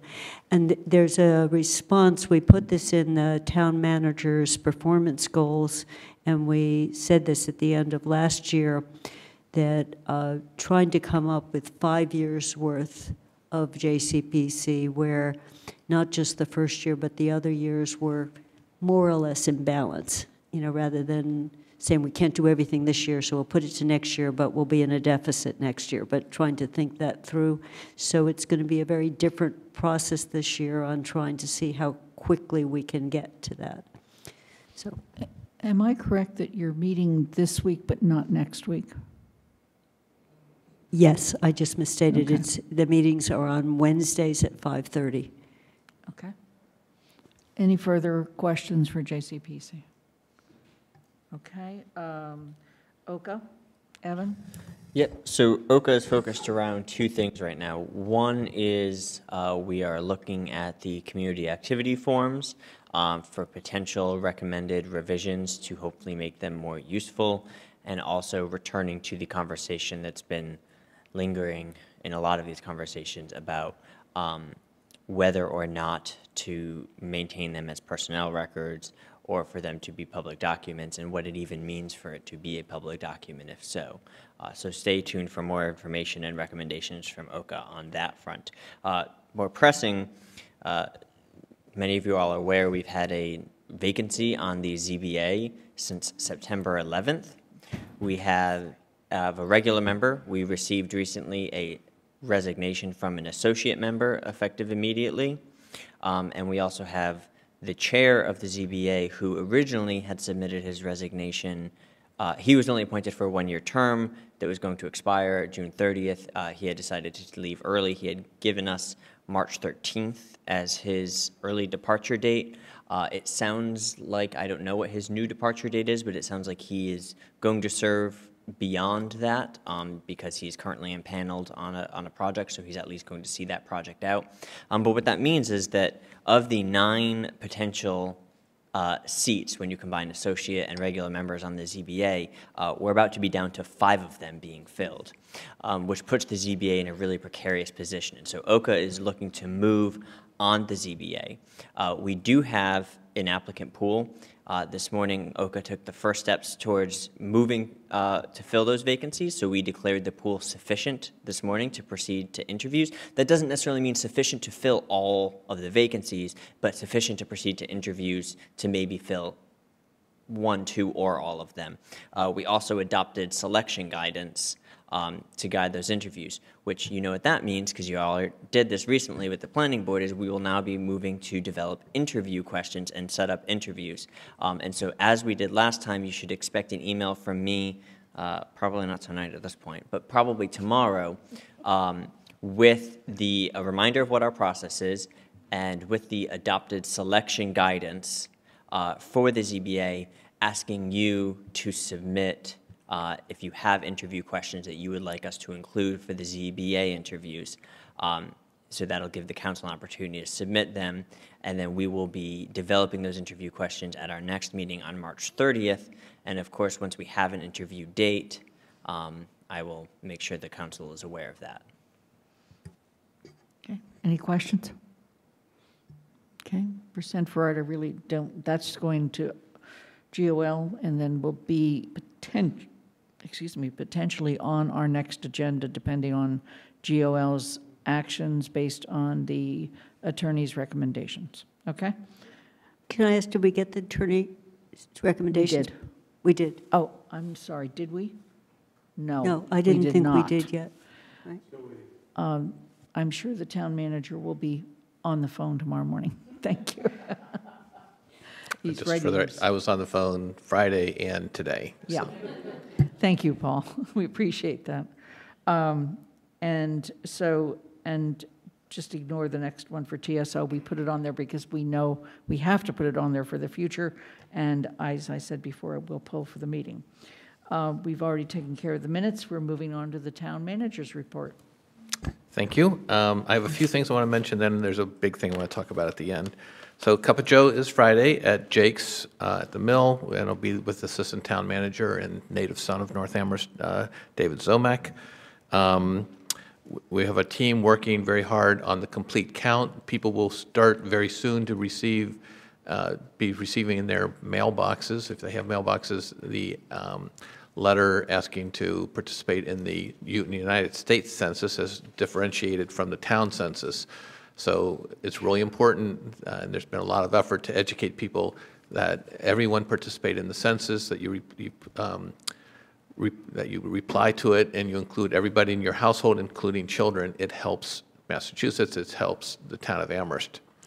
Um, The town elections went off very well. It's our town clerk's first real election, and I really give credit to our town clerk and the entire staff who helped and were working 20-hour days that day to make sure everything went well. And um, we didn't, we, we had enough ballots for everybody, and everybody um, did, did well. Um, Very, very pleased with the outcome, very large turnout, um, crisis mo, crisis time for us. So uh, really terrific. We met today, actually, to start preparing for the September uh, election, the September state primary and the November um, election. There will not be early voting for the September primary. But there will be uh, extensive early voting for the November and uh, election. We're going to be trying to work with uh, UMass this spring to set up the early voting for the fall because once they get back, when students get back in the fall, there's not a lot of time before they organize themselves. So if we can get that set up this spring, that's our, our goal. Um, Just, and also just a note, you know, uh, Mr. Steinberg noted that the um, quarterly finance report uh, was included in your packet. Every quarterly finance report is posted online. There's a link to, to it in my town manager report, but we automatically post those quarterly finance reports onto the town's website for uh, several years now. Um, The big thing I wanted to talk about was uh, COVID-19.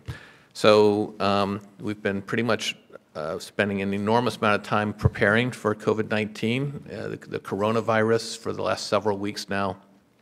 Um, As of 4 PM today, there are 13 new uh, presumptive positive cases, bringing the total, in Massachusetts, bringing the total of confirmed and presumptive positive cases to 41.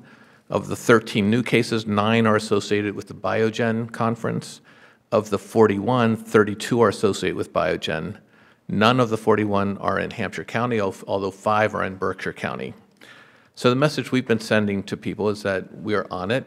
Uh, we have systems in place and we have experienced staff. Um, we're on it means that we're, we've been paying close attention and paying and managing and monitoring the situation for since uh, January. Um, having systems in place means that both the public safety arm of things and the public health arm of things are aligned and communicating at a very high level. So the public safety side is through MEMA and the Hampshire County Emergency Management Team, of which our fire chief is, is part of that. And our public health side is coming down through the Department of Public Health. It flows down usually, typically from the Centers for Disease Control at the federal level uh, to the Department of Public Health at the state level to the local health uh, department. We're a little bit different than the rest of the country in that we don't have counties, so every, every town has its own Board of Health. Um, We recognize that we have a sort of a leadership role in this area, and our, our team takes a leadership role for our smaller communities who might not have as robust a organization as we do. Um, So those two arms, public health and public safety, are linked, and two of our top leaders, in uh, Tim uh, Nelson, who is our fire chief, and Julie Federman, who's our uh, health director. Um, so they're both working very cooperatively. We've established a core team that includes the police chief, uh, Scott Livingstone, um, because not only the public safety, but also he's in charge of the dispatch unit, which is highly important. It- Whenever there's a call for anything, it always goes to the 911. So, and uh, David Ziomek is our public information officer.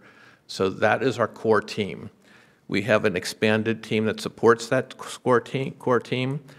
The way we are approaching this has been through, our first thing is what's called force protection, and that means that you're ensuring that your own staff are able to respond to emergencies.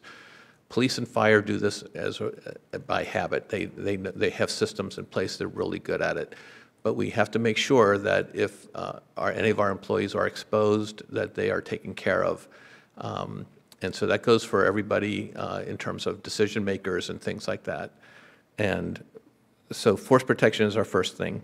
Incident command is the next thing. There will be a case in Amherst at some point. It's coming. Uh, It's, it's considered um, uh, it's not like we're going to get hit by a tornado, but it's like a big wave, a tsunami coming, and we can see it, and we have time to prepare. That's the good news, as the fire chief says. It's good news is we have time to prepare, and we are using that time wisely.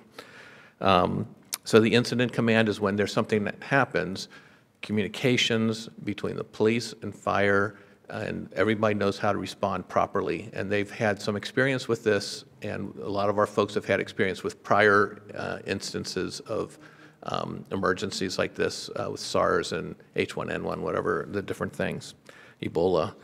Um, the next phase for us is what we call the COOP, which is Continuity of Operations uh, Program Plan. And so we have our core teams, including IT, HR, Finance, uh, DPW, all working along those realms, along with every department head who's, who's has a, will be, have, will, will, are expected to have a continuity of operations plan. And this is to make sure people get paid, you know, and we, if, if there's a, we are anticipating, you know, what happens if, the worst, we're, we're worst-case scenario planners. What if everybody in payroll is at the same party and they all come down with the flu or something like that, or whatever it is, and, and and they're, in ice, they're in, they're quarantined for two weeks. That's what the plan is. And do we have technology that allows folks to work from home and things like that? Another big element is communications. Uh, So that's where Dave Ziomek is working closely with Brianna Sunryd and with the school department in terms of making sure our communication to the outside world is really important. We want it funneled through one point of contact. We have uh, newspaper reporters and uh, people coming into town all the time looking for stories. We want our message to be consistent and um, measured and based on uh, subject matter experts like Julie Federman and Tim Nelson who are telling us what is, where should we be and what is the accurate information. We're looking, we have, we're looking at our programs, uh, LSSE, library, senior center, um, and making, we want to be consistent uh, in terms of how we're, how we're messaging out. We don't want one department to go off and say, we're canceling programs or not canceling programs. We want us, we want us as a team to be making a group decision based on science, which is what we're basing our things on, our, in- our decisions on. Um, We have, we reached out to our community partners, which includes the um, Chamber of Commerce, the Business Improvement District, our institutional partners, uh, high-level communication with all of them uh, to see what their needs are and to be able to work with them. We have um, a lot, we're working on uh, special effort with our vulnerable po- populations, seniors, uh, social service providers, shelter guests, non-English speakers, immigrant communities, uh, Center for Extended Care, Arbors, Ann Whalen, Clark House, Applewood, all the places that you anticipate, and we're making contact at different levels uh, with them to make sure um, they're all, many are hi- highly aware, but um, some people don't have the resources, and we want to see if they, what resources they need. Um, So there's a lot of work being done, um, work, meeting with empl- town employees to answer their questions, uh, because everybody has concerns, um, and, um, you know, what are our, our procedures if you are quarantined for two weeks and you don't have enough sick time? What's our, we have to make some decisions along those lines. So um, the first thing is we, we make some preliminary decisions. We meet with employees and people who are in the field and say, how does this sound to you? So we're actively managing that. Tonight, uh, while we're meeting, Amherst College announced that they were closing their um, school. Uh, Effective March 16th, all students are asked to be off campus and not to return unless you can't, and they will make allowances for students to come back. So there's more and more of these types of decisions being made, and it's, it's, we don't know what's going to happen because no one's makes in the, um, we don't want to be in the prediction business, um, but we, we want to be in the preparation business, and that's where we're expending an enormous amount of our staff time right now. So if people are a little bit late in getting back to you, I've told them this is top priority for us. Um, And, uh, you know, we, you know, communicating with uh, Rep. Rep. Domb and uh, Senator Comerford about what the state can do. One of the things that has come up with the council is how do we meet if we don't have a quorum or a quor- if people have self-quarantine for whatever reason? And the state law requires you to have a quorum in the room before you can meet. That's something the state could release us from. And, you know, this, there's lots of little things like that. We were, you know, when we think about our water treatment operators, you know, can we, do, we- we have to have a certain number of them on staff, you know, available at all times. And so DPW is thinking about, well, how do we, do we sequester some? And, you know, so there's lots of things in play in anticipation of the worst, and we hope that it doesn't go there, but we want to be prepared if it does, because we have vital functions that we deliver to the public um, 24 hours a day, and we have to make, and that's our core mission, and that's where we are putting all of our efforts. So there's a whole lot more than that's happening, um, but it's basically all hands on deck, and um, our goal is to make sure that we maintain our operations and serve the public uh, without um, delay and without uh, sort of, so nobody notices anything, that is, but um, we want, we're- we want to be prepared in case there are some disruptions in service and we have to fill in the gaps. Are there questions? Yes, Dorothy. Well, now, do you feel that you were wrong when I wanted to put in the town manager's goals, handles emergencies well? And you said, well, what if I don't have any, then how do I grade myself? And I, I, you know, you've just dealt with the election. You sent out um, really almost paramilitary reports on Blarney Day, uh, which were fun to get. You're going to handle this, and I have to tell you that what I tell um, my grandchildren is, and people who talk to me, I said, oh, we don't really have to worry too much because we have, we're in Massachusetts. We're a well-run state, and we live in Amherst. And Amherst is a well-run town, and don't worry, we'll be doing fine. And I do totally believe that. So thank you. Thank you. Thanks. Yes, Steve. So uh, regarding the coronavirus, obviously the health and safety and welfare of everyone that lives here and works here is, is um, paramount. So, but I want to pull two of the issues together, the census and the fact that we know that Amherst College students are being asked to stay home. Who knows what'll happen with other organizations here?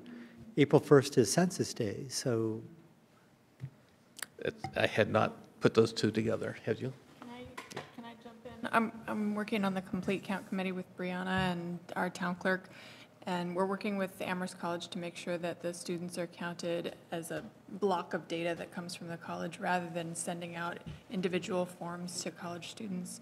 Um, We're, we're trying to make sure that all the data that the census needs in order to count those students is included in what's sent, but we're working on that, too.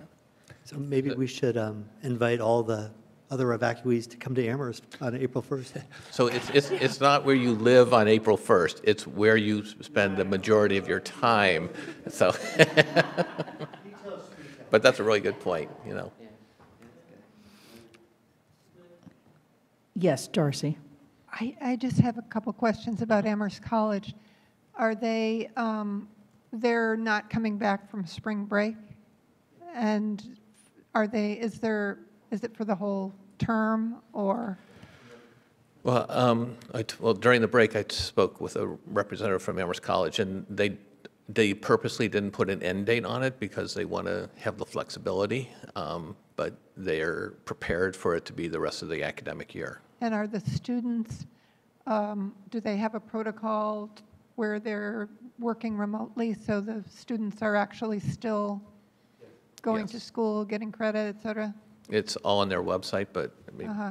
Ma- Mandi Jo may know more. As of last faculty meeting, which was Tuesday of last week, the administration told the faculty that the semester would be finished. If it needed to be finished remotely, they would find a way to finish it remotely with online classes and all of that. Um, So the intent is to finish the semester and complete it without losing the semester, as of last Tuesday. And they've already been working on how to do that remotely.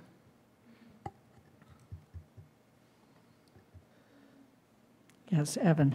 So this is related, and then it's going to be not, but, um, so obviously, as Steve said, the health and safety and continued services is paramount. If, the other thing that's been, I've been thinking of now that I've seen the Amherst College is closing, and I'm bracing for the potential that UMass could do the same is if you talk to any local business owner, they'll tell you the hardest time for them are the summer months when the mm-hmm. students are gone, and we're potentially looking at an additional three months of what would be summer and what that could do economically to our commu- community. So I'm glad you said you're partnering with the bid and chamber, and, and I hope that's also being thought of that a lot of, pe- uh, if the students go, if UMass does, Amherst, maybe they can withstand a little bit, but if UMass does go, that's going to be a significant economic hit to our community. Um, Which then brings me back to another thing I'm curious about, which is, uh, where are we on an economic development director? So just for my bit, you know, I went to a Chinese restaurant for dinner and then went to Amherst Cinema this weekend. I encourage everybody to do that. Um, um, That's needed. And also, the, the economic impact will be on the town as well. Uh, Our water and sewer usage will be down. Our revenues therefore will be down. Um, You know, if, things that produce revenue for us, ambulance runs and things like that will be down. So that type of thing, it has an impact across the economy um, for all, you know, all different levels. Uh, Economic Development Director, we have a meeting with the chamber on Thursday. Um, So that's our last group to get, they've asked for us to, before we start to move on that, that we hear from them. So we plan on doing that on Thursday, and then we're, we have a meeting on Friday to release the, um, the advertisement, the recruitment. Alisa? Could follow up on that. Um, If TSO had already existed, would you have asked TSO or any other town councilor what they thought when it came to economic development director? Because we've had no input to this at all, but yet stakeholders in the community are being asked what they think about an economic development director. So I have had conversations with individual um, councilors who've expressed interest in this area, so if there are other councilors, I'm very willing to have any kind of conversation with anybody who knows that this is out there and would like to have a conversation about it. Okay. Mandi Jo? I'm going to go back to the potential economic fallout of this um, COVID issue. Um, Many states have declared state of emergencies. My understanding is it's not always because of how many are infected in the state, but because it frees up a whole bunch of funding from the federal government. Do you know whether um, the state of Massachusetts is thinking that, or whether it would be beneficial if, say, UMass closes, if Amherst College remains closed, if this town declared one, would that free up money for small businesses in this town from some sort of state or federal state of emergency? And should we be considering something like that if, for example, UMass goes ahead and potentially closes?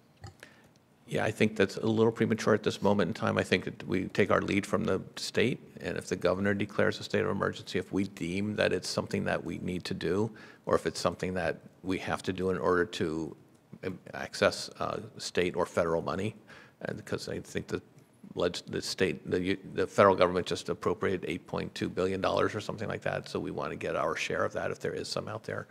Um, And that's certainly something we would look to do, yeah. Are there other questions at this time? Oh, Okay, just one, so uh, reference was made to the non-event this weekend, um, which was a bigger event than it had been in the past. And um, there was, uh, well, again, well-managed, um, but uh, a little bit, um, the same, we had the same police presence and response rate that we had in the past, but there was, there were more um, arrests made than we had in the past, so. Alisa? I just want to say, not then ever in the past, but certainly in the, in the recent past. in the since last we've few been in years. this Nice section where we've been so prepared. But the other thing I did just want to mention, that if you could pass along to our people, of course, we completely appreciate everything they did.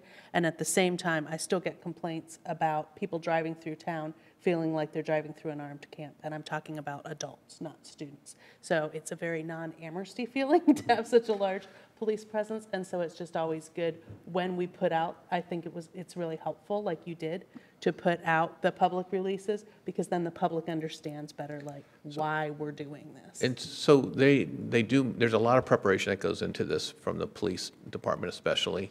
Um, They gather everyone who's on the street in advance of the um, meeting of, of the day. Uh, that morning, and they explained to them what the, pro- that the protocol is, we don't believe in zero tolerance. It's about presence and visibility. So we want people to notice people. We ask them to wear the yellow jackets. So it's, we want, it's about visibility and um, assisting people. It's not about, you know, trying to arrest as many people as possible. So that's the, you know, our officers get that, but it's the other seven forces that come into town that might not. And so we, we really, the, um, Captain Ting, who's in charge of this operation, makes that explicitly clear about what, what the, the um, feeling is about in, in the way we approach things in Amherst, which is different than a lot of other communities. Um, But it is about presence, and it's about um, letting everybody know that there is, there are police available, and um, large parties, super large parties are not, um, not something that we were encouraging. Sarah? So as someone who lives on Meadow Street, I definitely noticed that the spirit was high on this non-event day.